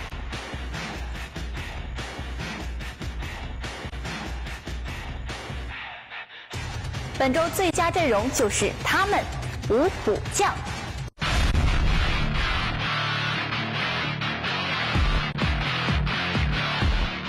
控球后卫杰特，一比。下半场比赛回来，这里是由 PPTV 为您现场直播的 CBA 第十一轮青岛双星主场迎战浙江广厦控股的比赛。为您解说的是徐杰和王兆峰。嗯，我们看看这边下半场双上来就是一个空中接力啊，给到克里斯约翰逊，又是林志杰的助攻。中场休息，我们看到上一周的五加球当中也有林志杰助攻约翰逊的一次空接暴扣。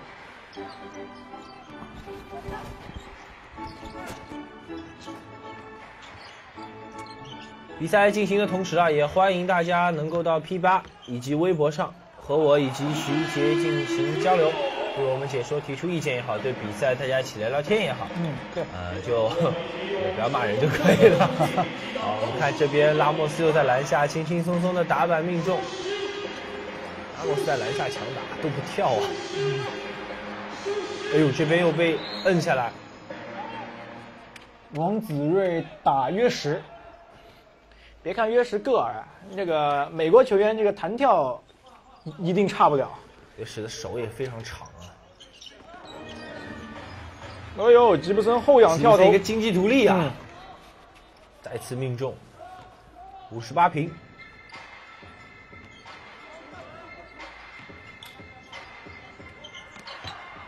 拉莫斯，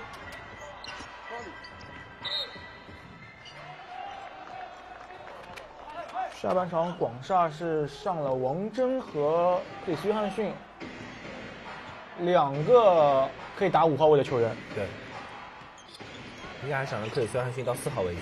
对，让王铮到底线去。嗯，毕竟对方内线的这一对外援搭档啊，身高也不矮啊。对。桑尼加上拉莫斯的，要是都在往都在内线啊，单凭克里斯·约翰逊加上张伟的这样的一个内线搭档或者苏若愚啊，是没有办法能够限制住对方。王铮也是命中一记中投。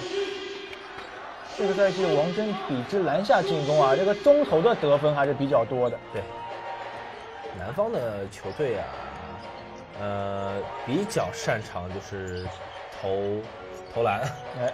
呃，对于内特别南方内线球员，不是很喜欢。哇！哦，我们看这边约什啊，这个球差一点就变成一个鱼跃扑球了。来看这个球，我们看约什从哪里追回来的？之前镜头也没有交代清楚，约什从哪里飞进来？这个速度真的是非常快啊！这两天也在看《灌篮高手》重置版啊，就回味一下，这个就有点像樱木花道扑球那个动作。哎。这个球错进错出，哎呦，这个球给的，吉布森三分球，来拔一个三分啊！哎，这边把球应该是吹给了青岛队。嗯，但是问题就是王铮和克里斯约翰逊两个人出场的情况下，广厦这个攻击速度打不起来。那王铮这个移动速度是偏慢的。哦，好球，这边克里斯约翰逊，啊，桑尼。不好意思，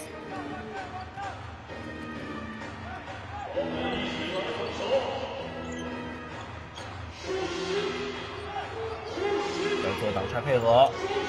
哎呦，这球桑尼已经看穿了，桑尼这个球速度很快。哎呦，这个球林志杰，我们看桑尼的手好像被拉了一下，地上撑一下。来看一下这球啊，嗯，桑尼这个球，林志杰应该是想很偷偷背后掏一下，因为觉得会把球给放到腰间再起身扣篮。对，但这个球判断失误。林志杰其实不是一个打球很脏的球员。对，这个球怎么吹呀？应该是普通的打手犯规吧。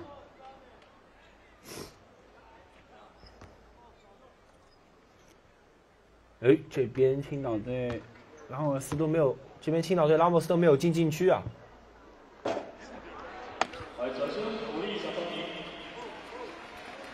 哎，这个球是怎么想的？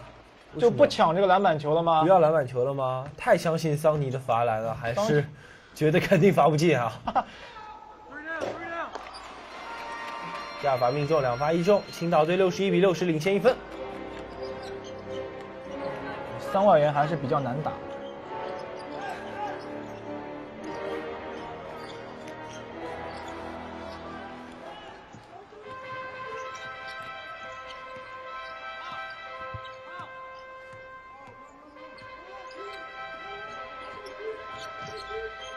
拉莫斯来投一个中投，也有。拉莫斯和桑尼啊，两个回合一人中一个。拉莫斯别说这个投篮也不跳，反正就是不跳。啊，这次防守拉莫斯依旧是不跳。拉莫斯你就不要再苦瓜脸了，真的，你不跳啊，人家跳起来你当然犯规了。看再看一下，这个。拉莫斯懒啊，真的是。好，我们看这边，应该是，我们这边看，应该是王哎，其实是张涵君上防线。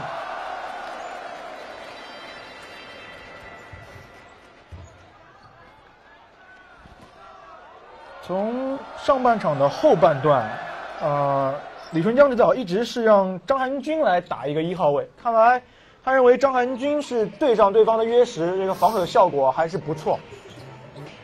张涵军因为呃比起王祖睿，他的速度更快，对，而且防守强硬度更高。嗯，桑尼晃了一下，漂亮，晃了一下，吸引到了王真的防守，这个第一手传给了拉莫斯啊，这个球拉莫斯是用不着上。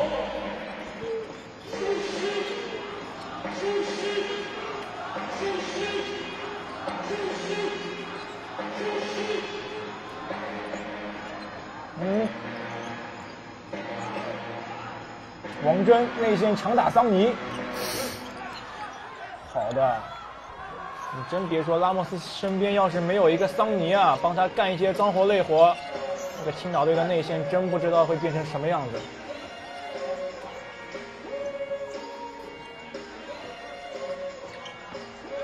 红旗，哎，这个球突破之后啊，嗨，这个失误是不是又是克里斯约翰逊啊？啊，没错，又是他。嗨，上半场克里斯约翰逊就有过一次这样的传球失误了。啊，这个李春江知道。在他的篮球理念当中是不允许有这样的事情发生的，直接把克里斯约翰逊换下，换上张伟，可能损失一点内线的运动能力，但是张伟比之克里斯约翰逊啊比较稳定。哎呦，这说到不稳定，这个拉莫斯这个接球是弹在自己头上。约什突破之后再分外线，红旗晃了一步投一个半截篮，不中，但是拉莫斯塞到前场篮板球啊。嗯，青岛这段时间打出一波攻击高潮，现在领先了六分了。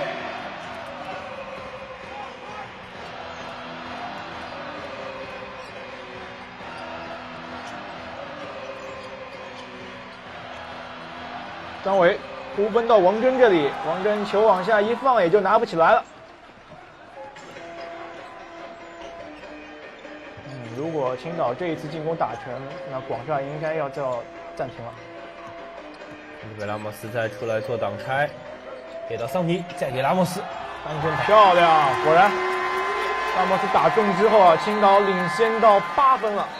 不错不错，这段时间青岛队的进攻很有章法，就还是三万元。你看这这这次进攻，也就三万元之间能够碰到球，只过他们三个人的手。但是话说回来，这青岛队已经得了十三分了，还有五次助攻。这三个人加一块是管用，也就是说，这五次助攻，这十三分当中，应该说全部都是由助攻得到的。对，这太可怕了。是，而且应该都是这三个人之间得分吧？对，我们来看一下，然后我们继续统计。今天在内线，广厦这边张永鹏也是没有得到出场机会。我觉得桑尼是有中距离的，所以说克里斯，无论是王真还是克里斯约翰逊拉到外面都会比较吃亏，就丧失了李春江对派他们上场的这样子一个用意。但是如果下了他们两人当中的一人上一个呃脚步比较快的外线，他们俩投完篮之后又有一手非常好的冲传篮板，嗯，所以说这一点会让李春江比较头疼。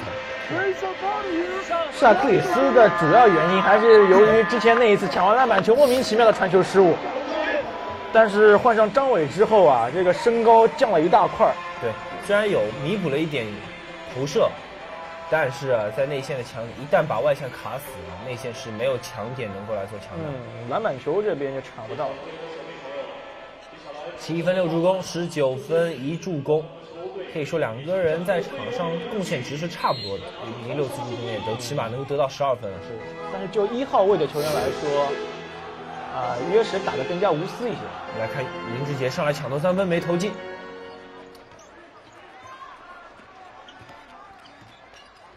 这边果然拿上了张伟啊。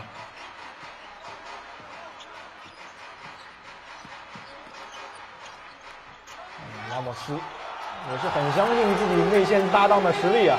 这个球掉的是有一些高，但是桑尼在内线还是无解。嗯，最后要逼着林志杰去补防。林志杰外线再飙一个三分，这个肯定是桑再把篮板球收下来。嗯，林志杰这两个三分球不会是无谓投出去的，一定是李春江指导跟他说，这段时间你要攻一下。对。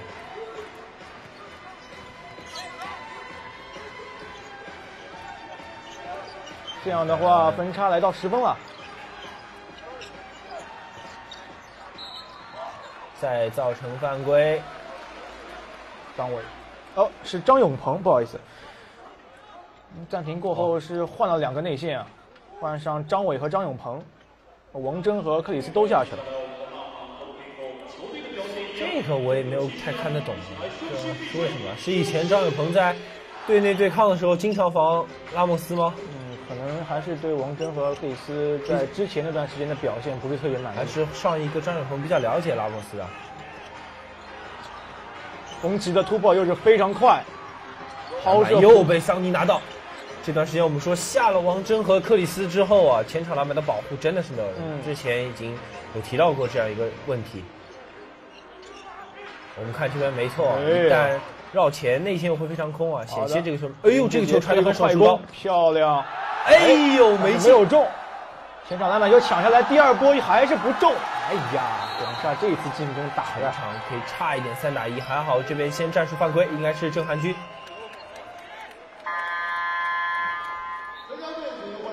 边还是要换人啊，这个没办法，必须要把这边上的是。林林志杰、张伟，你看可能就是上了孙鹤南。镜头啊，克里斯回来，克里斯应该是拿下了张伟。对，这边场边是有孙鹤南。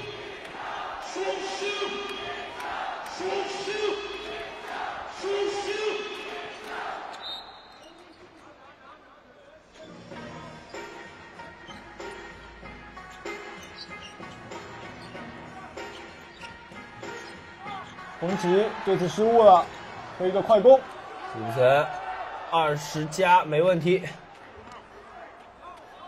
这边把比分再回到，再回到个位数。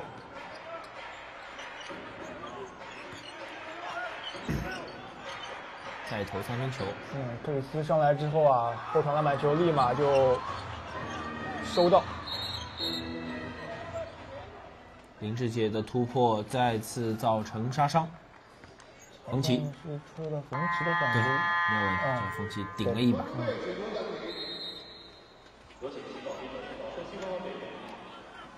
场边请求暂停。青岛这边也是换上了薛宇阳，啊，让让桑尼歇一会儿。对，桑尼这段时间的效率很高啊。即使桑尼歇，他场上还有拉莫斯和约什。第三节青岛这边命中率还是很高啊，百分之五十。反过来广厦这边比上半场还要差。大学啊！Peter's gonna flash to the middle。哎，拉莫斯冲上来。Screen the zone。掩护，掩护。Shoot a three, they go down and shoot layups. Come on, guys. 不要传一次球就投篮了，不要传一次球。No. 这边场面也说是要加快传球，不能够拿到球就投。嗯，张伟摘下前场篮板球之后啊，也是换下去，也是因为这几次篮下的 easy ball 没有打进啊。好，这边场面前面是林志杰，呃，防守快攻的约什，犯规。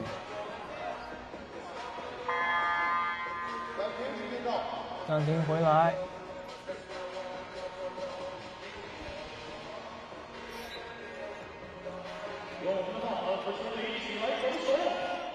青岛队发球，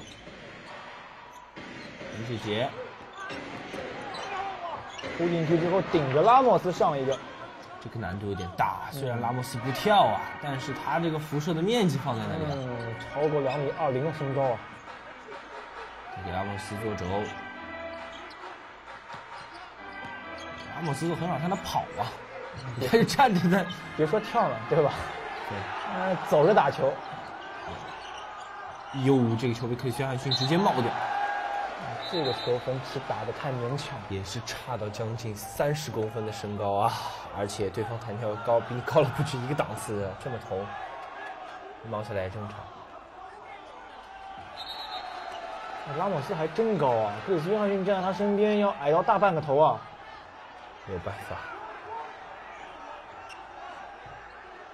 这边杰森又做换人，王刚，王刚应该是换一下红旗。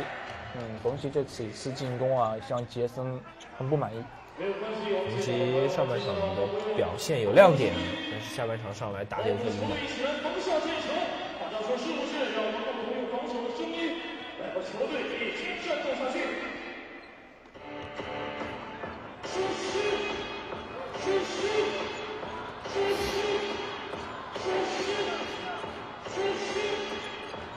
杰，哎，好球，黄桃啊，这个球，哦呦，哎呦，克里斯·约翰逊，我们说这个时候看出来手上的活不够细啊，嗯，这种球怎么可以放不进呢？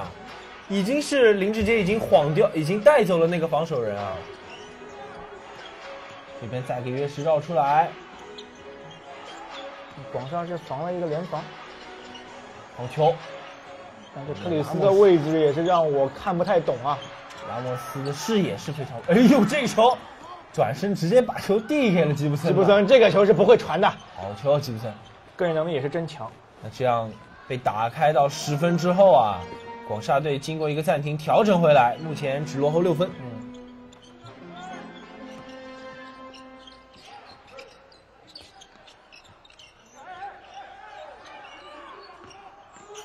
拉莫斯。这边犯规，孙鹤南也是没办法，这球已经被点开，而且那边二三联防上线的另一名球员是回不来了。这个球，对。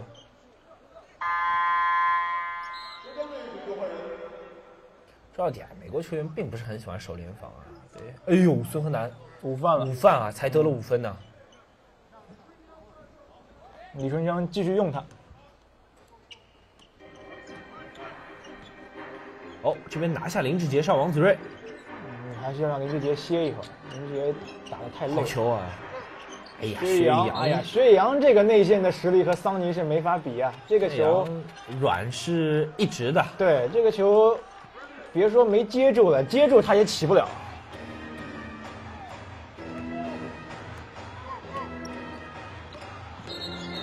进攻犯规，克里斯，呃，有一个掩护的时候有一个移动的。步子啊，对，裁判抓住，移动掩护。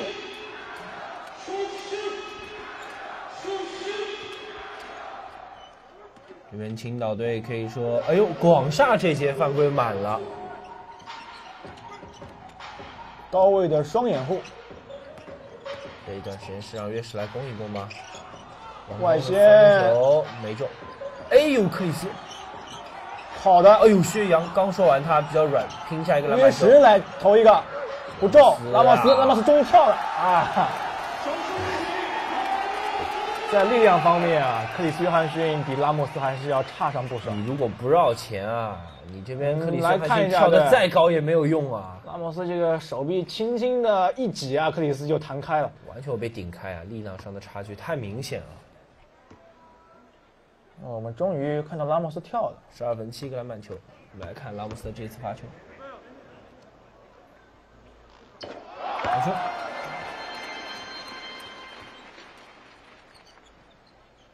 薛洋之前那次进攻也是拿到地板球。拉莫斯在罚球线上，两罚全中，再一下暂停，场面广，哎，是换人，八分。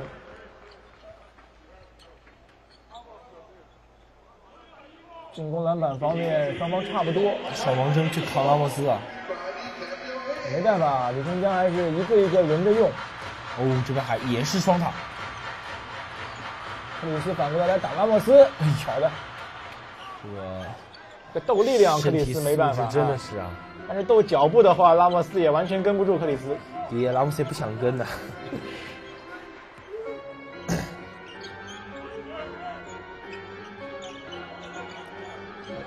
刚和约什这两个穿插跑得很好，约什好球，约什这个绕地非常漂亮，三分球。王刚和约什这两名小将啊，在这个回合连续大范围的穿插跑动，搅得广厦这个联防啊也是顾此失彼。克里斯约翰逊投一个中投，太不靠谱了。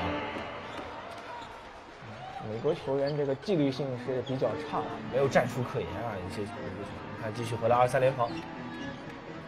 这边二三连防已经被破了很多次了。王刚也是直接吊高球找拉莫斯，这个打法是以前上海队打姚明的那个战术啊。直接把球打进啊！十一分，第三节说话间还剩下最后十一秒。来看吉布森应该会操刀这次进攻，直接球三分球，命中啊，好球！这是一个救命的三分啊！对，我们来看这，啊，太高了。好，那这样三节比赛结束，七十八比七十。呃，青岛队在这一节在进攻端表现得更出色，依靠三外援的发挥啊，连续得分，把分差控制在了八分球。嗯。我们稍事休息来看双方最后一节的较量。本届比赛，青岛队得到二十二分，浙江广厦仅仅只得到了十六分。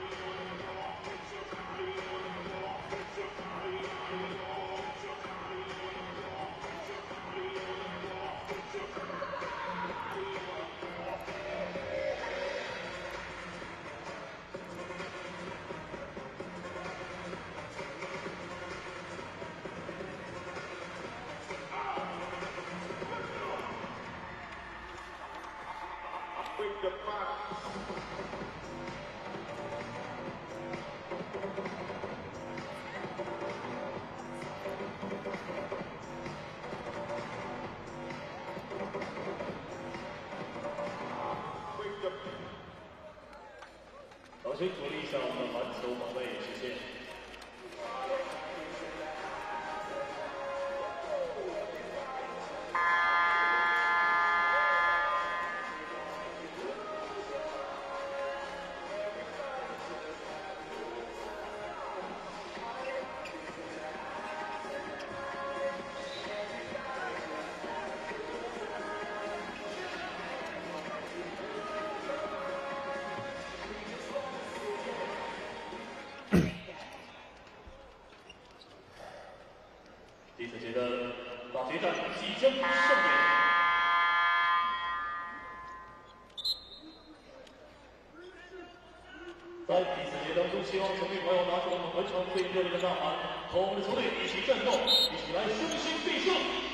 这边最后一节的比赛，青岛队在前三节以七十八比七十领先浙江广厦控股。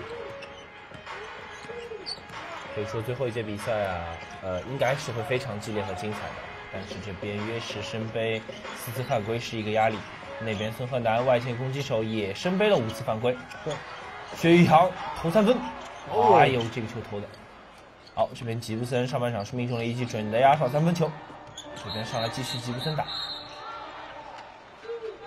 这一次是吹了阻挡犯规，应该是十三号。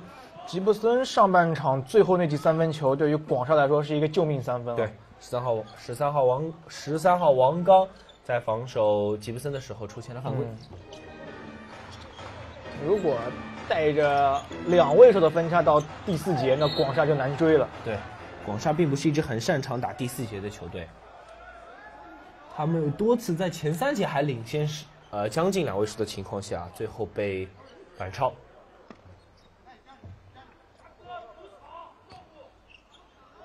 我们一起来。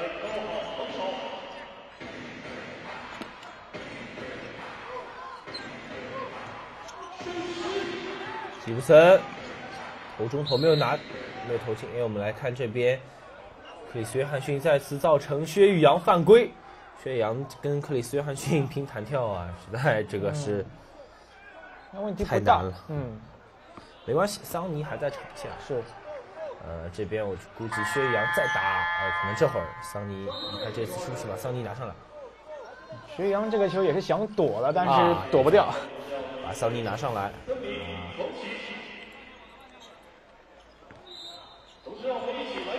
红旗也重新被换上，可以随上去利用自己的臂展啊和超高的身高，嗯，还是高举高打。这样的话六分。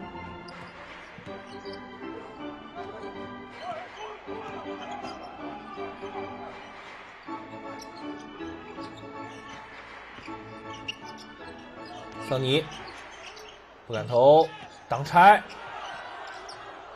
好球啊！被克里斯汉逊冒掉。而这边推快攻，镜头没有跟上，好的，好球，应该是王子睿。没错。今年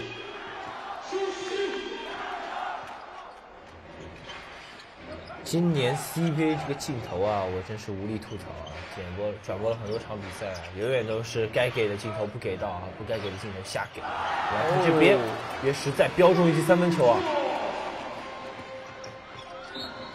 这边回去好像是个哎，我们看这边都不交代之前发生什么事，就我们又没有看到前面发生什么，好像克里斯约翰逊在推快攻的时候被约什犯规。嗯，应该不是约什，否则约什就毕业了。啊，不是六次犯规相少吗？哦，啊，这边是桑尼。对，应该是吹的桑尼犯规。这 CBA 今年的镜头啊，我我们有一次是吹浙江德比啊，有一次很关键的球的时候，我们要看清楚回放的那个镜头的时候，转播把镜头给了一个摄像的大叔，那个时候我跟金超老师就无力吐槽了 CBA 的转播镜头。哎呦，好球！这边拉莫斯也是合理利用规则。对。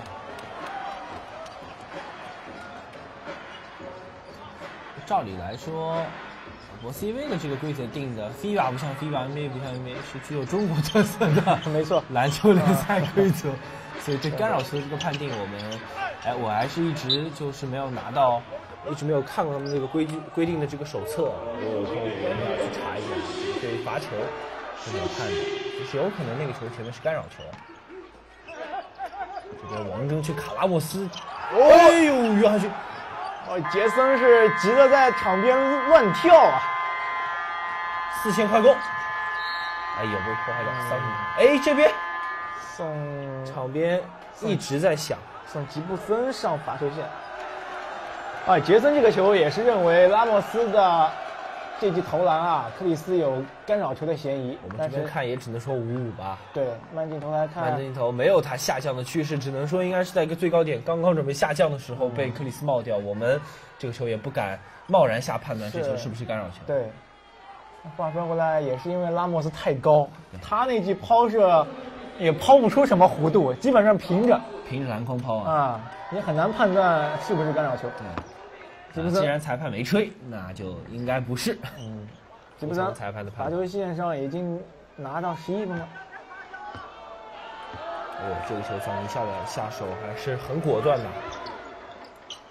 嗯，第十二分。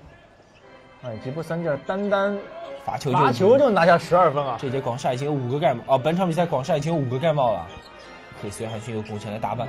两队失误都不少，十七对十二。青岛这边助攻多，失误也自然会多一些，因为传球是有风险。约什，哎呦，投出去这个弹道哎呦，还是很正。桑尼亚，约什进来了，哎呦，这个球啊，应该还是青岛的球。天哪！这边现在两边打的都很乱，这其实三万元这种，节奏是适合青岛队的。三万元可真厉害啊！这边拉莫斯加约什 都是乱战高手，是，哎，哎，正好加个桑尼是比较喜欢干脏活累活的，你看喜欢捡漏的那又，不贪球，再被冒掉啊，又在冒。吉布森操这个球估计也不太会传的。哎呦，可惜，这边反过来被打快攻啊！反过来约什到传球了，哎呦，太低了，这个球给的。哎呀，两边错进错出啊，各一次失误，半分没得。这球约什给的有点低啊！拉莫斯，你喊他两米二零的人蹲下来捡这种基地球啊，给的太不合理，你要不就给空间。那你但是拉莫斯的这个 啊，从约什这个角度来考虑，你你抛一个球，拉莫斯不跳那怎么办？对对对，怪我怪我，不太好。对，所以他也没办法。怪我。哎呦，这边孙鹤南，孙鹤南，对孙鹤南跳投三分，分差又来到了一分呐。这个球投的很有林志杰的味道。对。说到前面是看到啊，场边正好是换到 PPTV 的广告牌的时候啊，孙鹤南投进三分球，所以说。进攻也是讲时机的。好，我们接下来看比赛。这这个广告太生硬了吧？好，我们来看，冯旗这边停球了。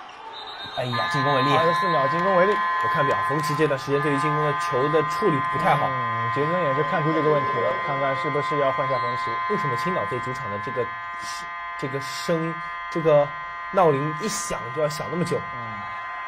这个问题去年麦迪在的时候也一直发生啊，球队也是不止一次吐吐槽过这个记录台了，太像这声长长的叹息呀。嗯，这个裁判也是去紧急的和记录台沟通一下，这个到底是出了什么状况？特别是现在两队这个分差是咬得比较紧的，那打到最后的时刻，如果记录台出现一些问题的话，那这个比赛又不知道怎么收场。王铮。哎，这个球是二加一吗？嗯，好像没有看清楚。动作，我们来看一下，应该哎，这这边实在看不太清楚。王峥再来看一下，哦，没有进，不是。哎，这滚的方向在另一个镜头看来太像箭了。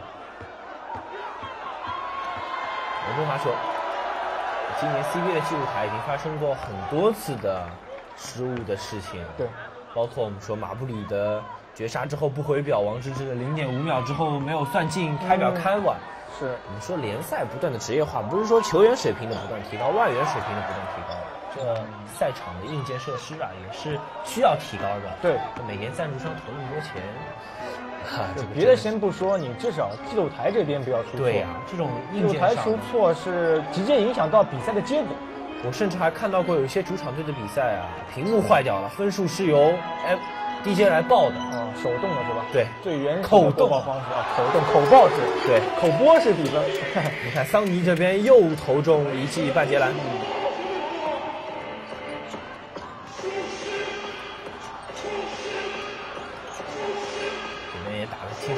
给吉布森打吧。吉布森分王铮，不错，王铮这边打桑尼还是对，王铮的力量上啊，对上桑尼不落下风，不像克里斯汉逊啊。瘦胳膊瘦腿儿，有可能拿拿不起球啊。所以这段时间，克里斯也基本上拿不住，拿不到球。克里斯只需要他在防守端做好自己的本分就可以。这边桑尼再中，这边王铮为什么不补过去伸一下手干扰一下桑尼呢？明明是有劲，你看这边王铮离桑尼那么远，王铮这个移动速度是偏慢了一点。对，那应该让找准这个啊。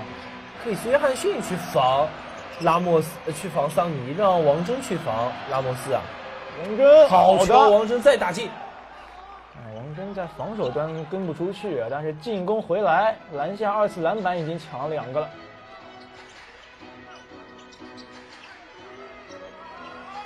王刚的三分球，哎，王刚是有篮的，这个出手就觉得偏了。哎呦，这边。王子睿跌了个踉跄，这个回合广厦有机会将比分反超。好，哎呦喂，这边是谁呀？王子睿吗？哎呦，好球！这个球不容易，反超了两分。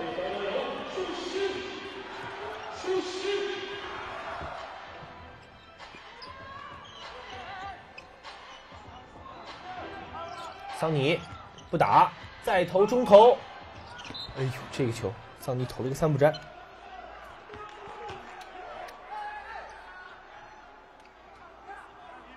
这段时间青岛要顶住，打了大半场好球，在第四节的后半段如果崩盘的话，这场比赛就直接交代了。吉布森再投三分球，哇，那这样要叫暂停了，五分。青岛队这段，其实这个球不能说没有防到位啊，那投的进没办法。嗯，但前面之前被追分的那几个回合啊，对于王峥的防守，桑尼和拉莫斯没有交代的很清楚。是，包括王刚的外线出手，都是可以再再打的耐心一点。你看这边青岛队有十九次的助攻，但是有二十次，将近二十次，十九次的失误啊。而这边广厦队应该是只有七次吧？对，等于是用一次失误来换一个助攻。我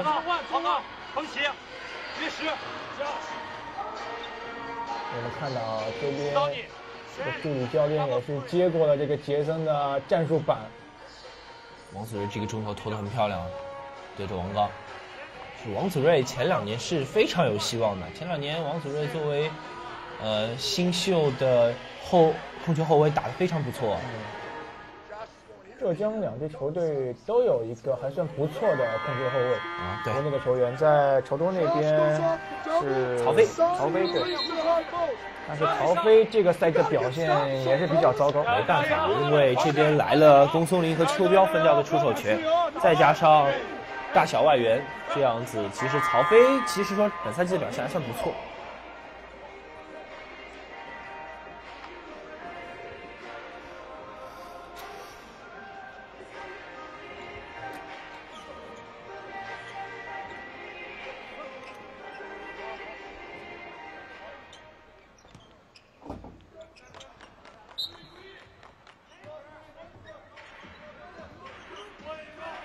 边继续二三联防，你这边三分投不开就是二三联防，但是你这边又让罚球线的桑尼那么轻松接到球，哎呦，这个球桑尼虽然没有打成，但是造成了王铮的犯规。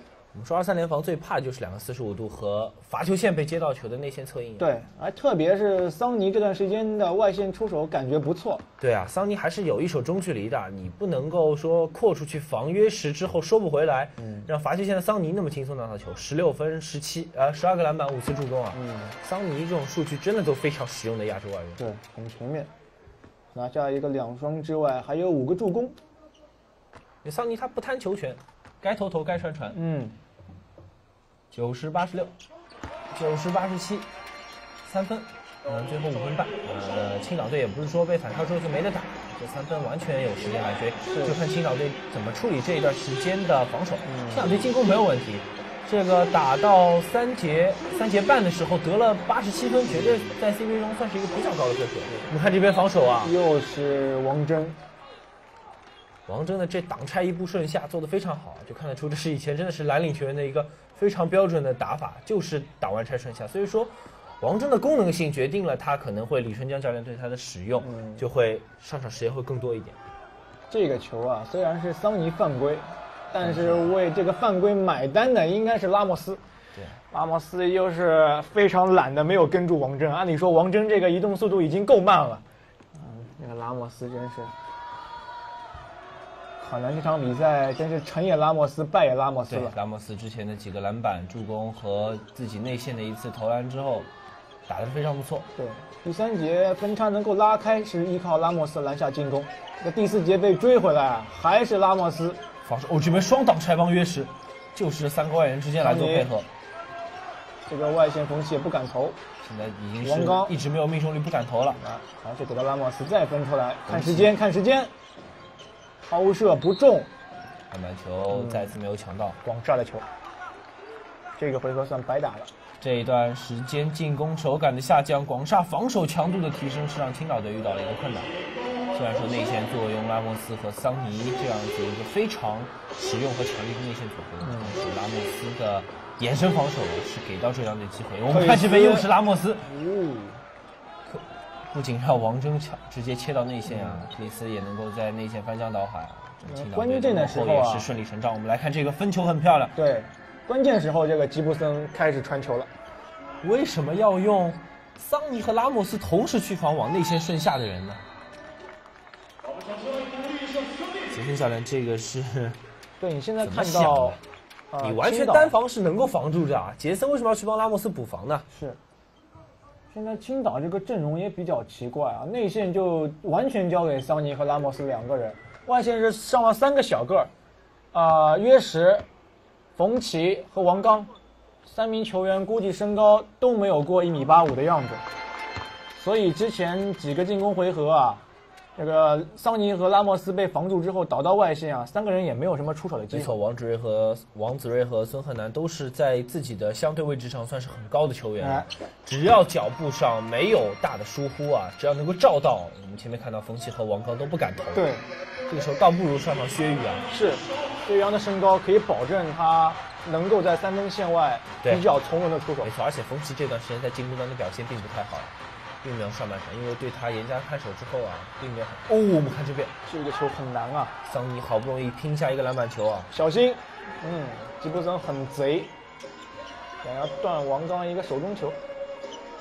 桑尼桑尼，投中投有吗？也中，好好球。桑尼还是很稳定。这段希望青岛队能够把这段时间给缓过来，我们也是希望这个比赛可以打得更加精彩。对，毕竟我们是中立球迷嘛。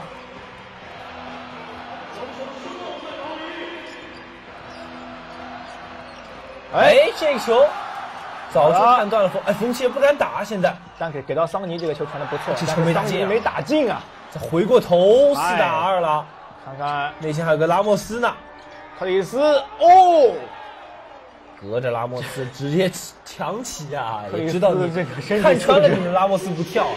那个身体真好啊，克里斯啊！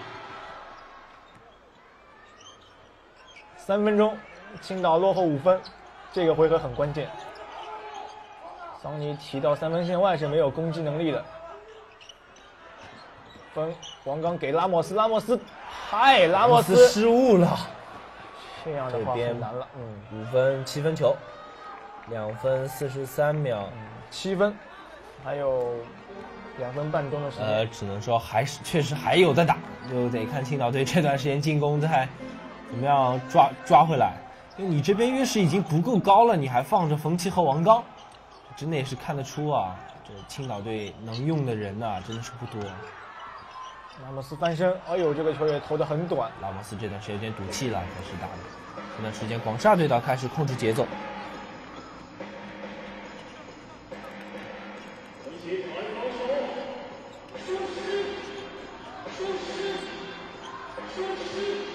哎，王子睿急停跳投，出状态了。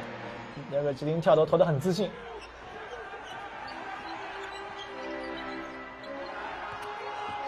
黄好球，给桑尼，桑尼投三分，也中。前面有谁说桑尼没有三分球？这个很少见啊！桑尼拉出来命中了一个三分，而且进的很干脆。啊，桑尼一看这个我提到罚球线啊，克里斯能跟得上，哎，我再拉远一点，看看你能不能再跟得上。桑尼今天确实进攻手感非常不错。随着桑尼进了这个三分球啊，还有一分四十八秒，这个分将指导马上叫一个暂停。哎，这个三分球进了之后，还真的是有的打。那完全有的关键看拉莫斯想不想打。哪怕造成犯规，这些都是好的。那个黄城你上个打打开，他俩相当不好了，打衣服，打个衣服就他去打。啊，一定要把成绩知道暂停回来应该是要拿上林志杰了。对，还是这么走，一个不给，一个石头篮。真真假假，包括那个上迷也一样，真真假假的，真真假假，真真真当当投，他就非常有信心。啊，外边的防守到位，真真假假就可以了，还是防联防，争取往上打一个一。放心，家里一到这么一个信一个，OK OK，要让他能看见你们啊，OK，然后手一个信，看见你们。You can take, if they come at you, you got drop. Now listen, good. All the 没问题啊，有时间啊。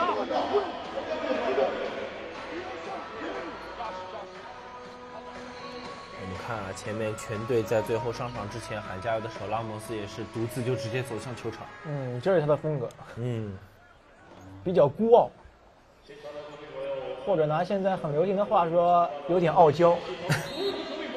我们来看这边广厦队来组织进攻，一分四十五秒的时间，领先四分球。广厦队打的太简单，就让杰布森打。嗯，杰布森还真的是个人能力真的非常强。杰布森不出意外又是三十加，没有问题。应该是将近要拿到三十五分了。对，没错，手机上来命中正好三十五分。哎呦，林志杰险些失误。哎，裁判反而吹了桑尼的犯规，那个哨是给的晚了一点，我们感觉这个哨有点像是最后吹林志杰走步。啊，这一下哎没有响哨，哎反而是犯规啊！但是你这个哨给的太慢了。桑尼五次犯规，五犯。呃，这一次是第五次呢，还是啊？应该这一次，这次拿下红旗，也在情理之中。红旗在进攻端的表现确实不太好。嗯，看看换上来是不是薛玉阳？应该不是上王刚啊，应该是王刚加上。应该是王刚加上，呃，哎，张耀生吗？哎，对，王刚加上二十号张耀生。嗯，差八分，一分二十五秒，必须要投三分了。无约什，桑尼再捡到篮板球，哇！桑尼今捡了不少篮板球啊。这次进攻呢，用的时间是可以。诶，这个球走有走不嫌疑啊！我觉得林志杰的传球差一点失误，看裁判怎么吹。好，这个球吹给了青岛。对对对，吉布森是不拿球，如果不吹啊，前面林志杰也有个走步前移啊，没有问题。林志杰拿到球放球的时候已经慢了一步，我们来看一下，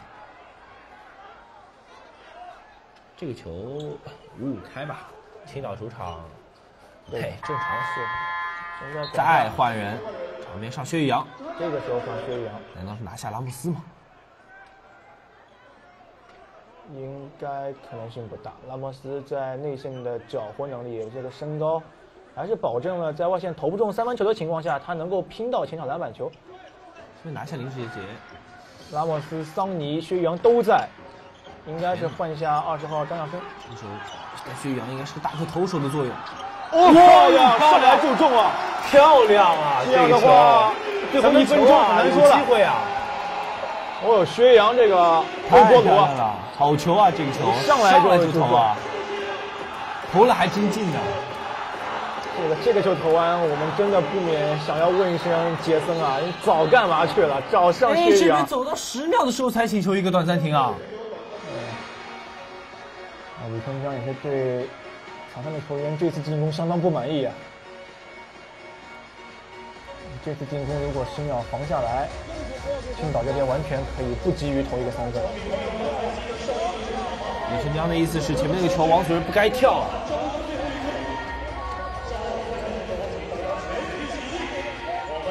这个时候还是要向吉布森来布置一些战术。这样的关键时候，今天林志杰的状态不好，打到现在只拿到四分，所以还是要靠吉布森来打。嗯和吉布森说完之后啊，李春江指导也是和其他的球员在说要注意抢篮板球。桑尼啊，今天在得分和篮板两端都表现得非常出色。林志杰，林志杰今天只得到两分。对，得分、篮板、助攻、失误这四项都看不到林志杰，也是比较少见的。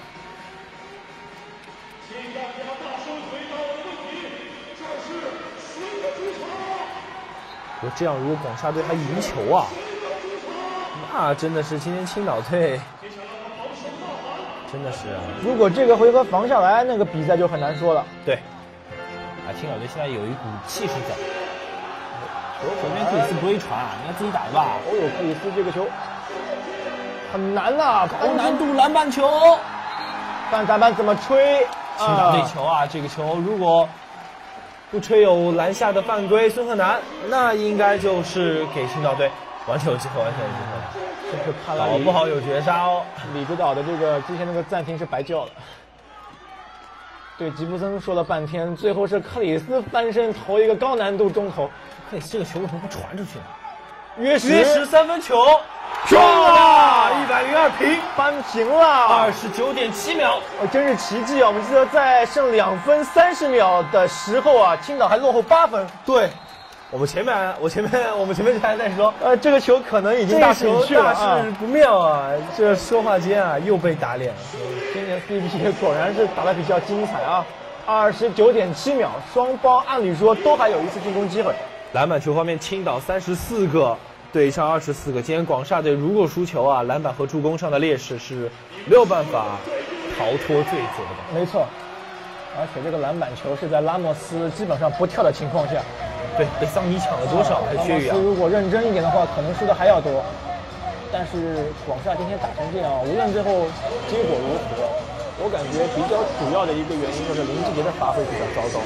林志杰场均有将近十五分，今天才拿到两分的话，那少了他十三分。今天林。林志杰今天真的表现不太好，前面两发全中，林志杰得到四分，然后呃，全队林志杰唯一在全队效率榜上有贡献的就是他的失误，排在全队第二的三次。对，那第一名的克里斯汉逊虽然有五次失误，但已经贡献二十分。其他球员倒是打的还算正常，林志杰今天这个从得分上来说是比较不正常的。我们从有些场次来看，林志杰的得分也是不高，也没有过十分。但是助攻数上是比较多的，今天助攻也林志杰得到二十八分，七次助攻。嗯。那在关键时候啊，果然，这个暂停过后，林江导还是把状态不佳的林志杰给换下，换上今天反而状态不错的王子睿。对，这也说明啊，广厦队能用的人真的很多，稍微比青岛多很多。对。青岛队这边，我们看外线轮流换。哦，最后一关键的时候来了，有木有绝杀？有木有？这个约什对上吉布森，两个超强得分机器在。哦，吉普森进来了，抛投，抛投没中，自己抓篮板，翻身再投一个，还不进。拉莫斯，这个篮板球怎么吹？吹给了广厦。这样的话，吉布森还有一次进攻机会。六点零秒。这个球啊，怎么说呢？这个拉莫斯这个快跑两步，应该可以有机会拿到的。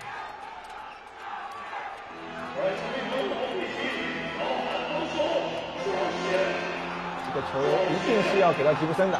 哎呦，高难度的反哇！这是一个好球啊，吉布森！这个球不知道怎么来形容啊，接球的时候是相当困难。一个金鸡独立的外线后仰三分跳投。竟然兴奋到和李春江指导完成了一个撞胸庆祝，李指导也是站得很牢啊，没有被吉布森给撞到。这个青岛队完全没有想到啊！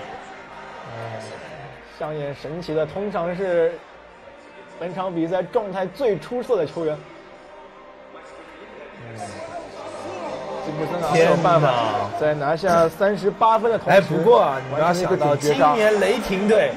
韦斯布鲁克投中进超远三分的绝杀，以为是绝杀之后，啊，当然现在青岛队可能投绝杀的机会比较小，是，但有可能还是有机会的。我们知道伊戈达拉投中一记压哨的投篮，对，对不对？今年的 NBA 也出现过很多次绝绝杀和反绝杀，我们看今天青岛队能不能为我们贡献一场非常漂亮的反绝杀？今天还昨天啊，门塔阿里斯也是一点四秒，今天绝杀了开拓者，就在今天，今年开拓者打得非常不错。但是青岛这个暂停叫完之后是前场发球，看看啊，还是我们要抱以希望，有机会啊！这个球，约什今天手感对，约什和桑尼，包括薛宇阳，三都是非常不错的状态。吉布森能命中这样高难度的球，约什没有理由投不出第二个。约什说给拉莫斯，拉莫斯分约什，约什也是漂移投篮，哎，可惜呀。嗯，哎，这边怎么吹？结束了。结束啊！结束，结束了。嗯，约什这个球投出去还是比较正。全场比赛结束，一百零五比一百零二。啊哈，这个结局我们都没有想到啊！太太棒了，太棒了！这个战术是打成了。这个吉布森发完球之后啊，是没有看拉莫斯的位置。这球没有犯规，那这样全场比赛结束，一百零五比一百零二。浙江广厦是在客场艰难取胜了拥有三外援的青岛双星。嗯。比赛太精彩了，比赛打的是非常非常的激烈啊！打到了最后一秒，可以说真的是打到最后一秒。对，在一点四秒的时候，青岛队仍然有扳平比分、进入加时加时的机会。就像我们之前所说到的一样，在比赛还剩两分三十秒的时候。其实我们俩那句话没有说出来，但是已经感觉到青岛可能大事不妙了。对，但是没有想到在最后的三十秒钟，青岛将比分追平。对，更加没有想到广厦在连续拿到两个前场篮板球之后，吉布森命中了如此高难度的一记三分球。我们来看技术统计，这一节广浙江队赢了对手十一分啊，三十五比二十四。我们就说浙江队一旦认真起来，但他们第三节打的实在太烂，只得到了十六分。是。呃，投篮命中率方面五十四五十一，大家差不多，三分球命中率三十五三十七也一样。嗯我们说今天赢真的就赢在最后，大家拼外援拼小外援的时候啊，吉布森站出来，是吉布森太牛了，这个就 不知道怎么去形容啊，因为嗯应该是今年 CBA 的呃，除了马布里那次三分绝杀之外，又一次三分绝杀吧，对，是就是而且这个球难度更大。就是留给对方最后时间最短的，除了马布里这次之外，他应该排第二。对，没错，这球真的是太漂亮了。面对到大外援桑尼和小小个球员的防守之后，做了一个金鸡后仰跳投的三分球，嗯绝杀了青岛双鹰。当然，这场比赛浙江队要总结的依旧还有很多。对他们可以说，之前我们看到在篮板球方面已经输掉十个了，失误上失误上虽然青岛队今天失误也有点多，哎，可以说浙江队要总结的有很多，青岛队要总结的当然更多。他们在迈向一支成熟球队的路上，还要走非常远的、非常非常远的路。我们之前在比赛中也提过，今天晚些时候这一轮的 CBA 有非常多非常好看的比赛。首先是呃介绍一下上海队对上佛山队，对，也是我将会和张大伟老师嗯为大家带来解说。上海队上一场比赛干掉了卫冕冠军，然后之前还会有新疆队对到呃北京队，呃新疆啊新疆对打广东对不好意思我们这边也会有有直播。对，非常精彩。啊那我们就本轮的这个重头戏还是要在晚间的时候啊，对大家也也是稍微休息一会儿，大概休息个一个小时左右，继续锁定我们吃个晚饭啊。吃个晚饭，我们继续来观看嗯 C 一轮这一轮的比赛。对 PPTV 也会继续为大家直播。我们稍事休息，晚晚些时候再见。嗯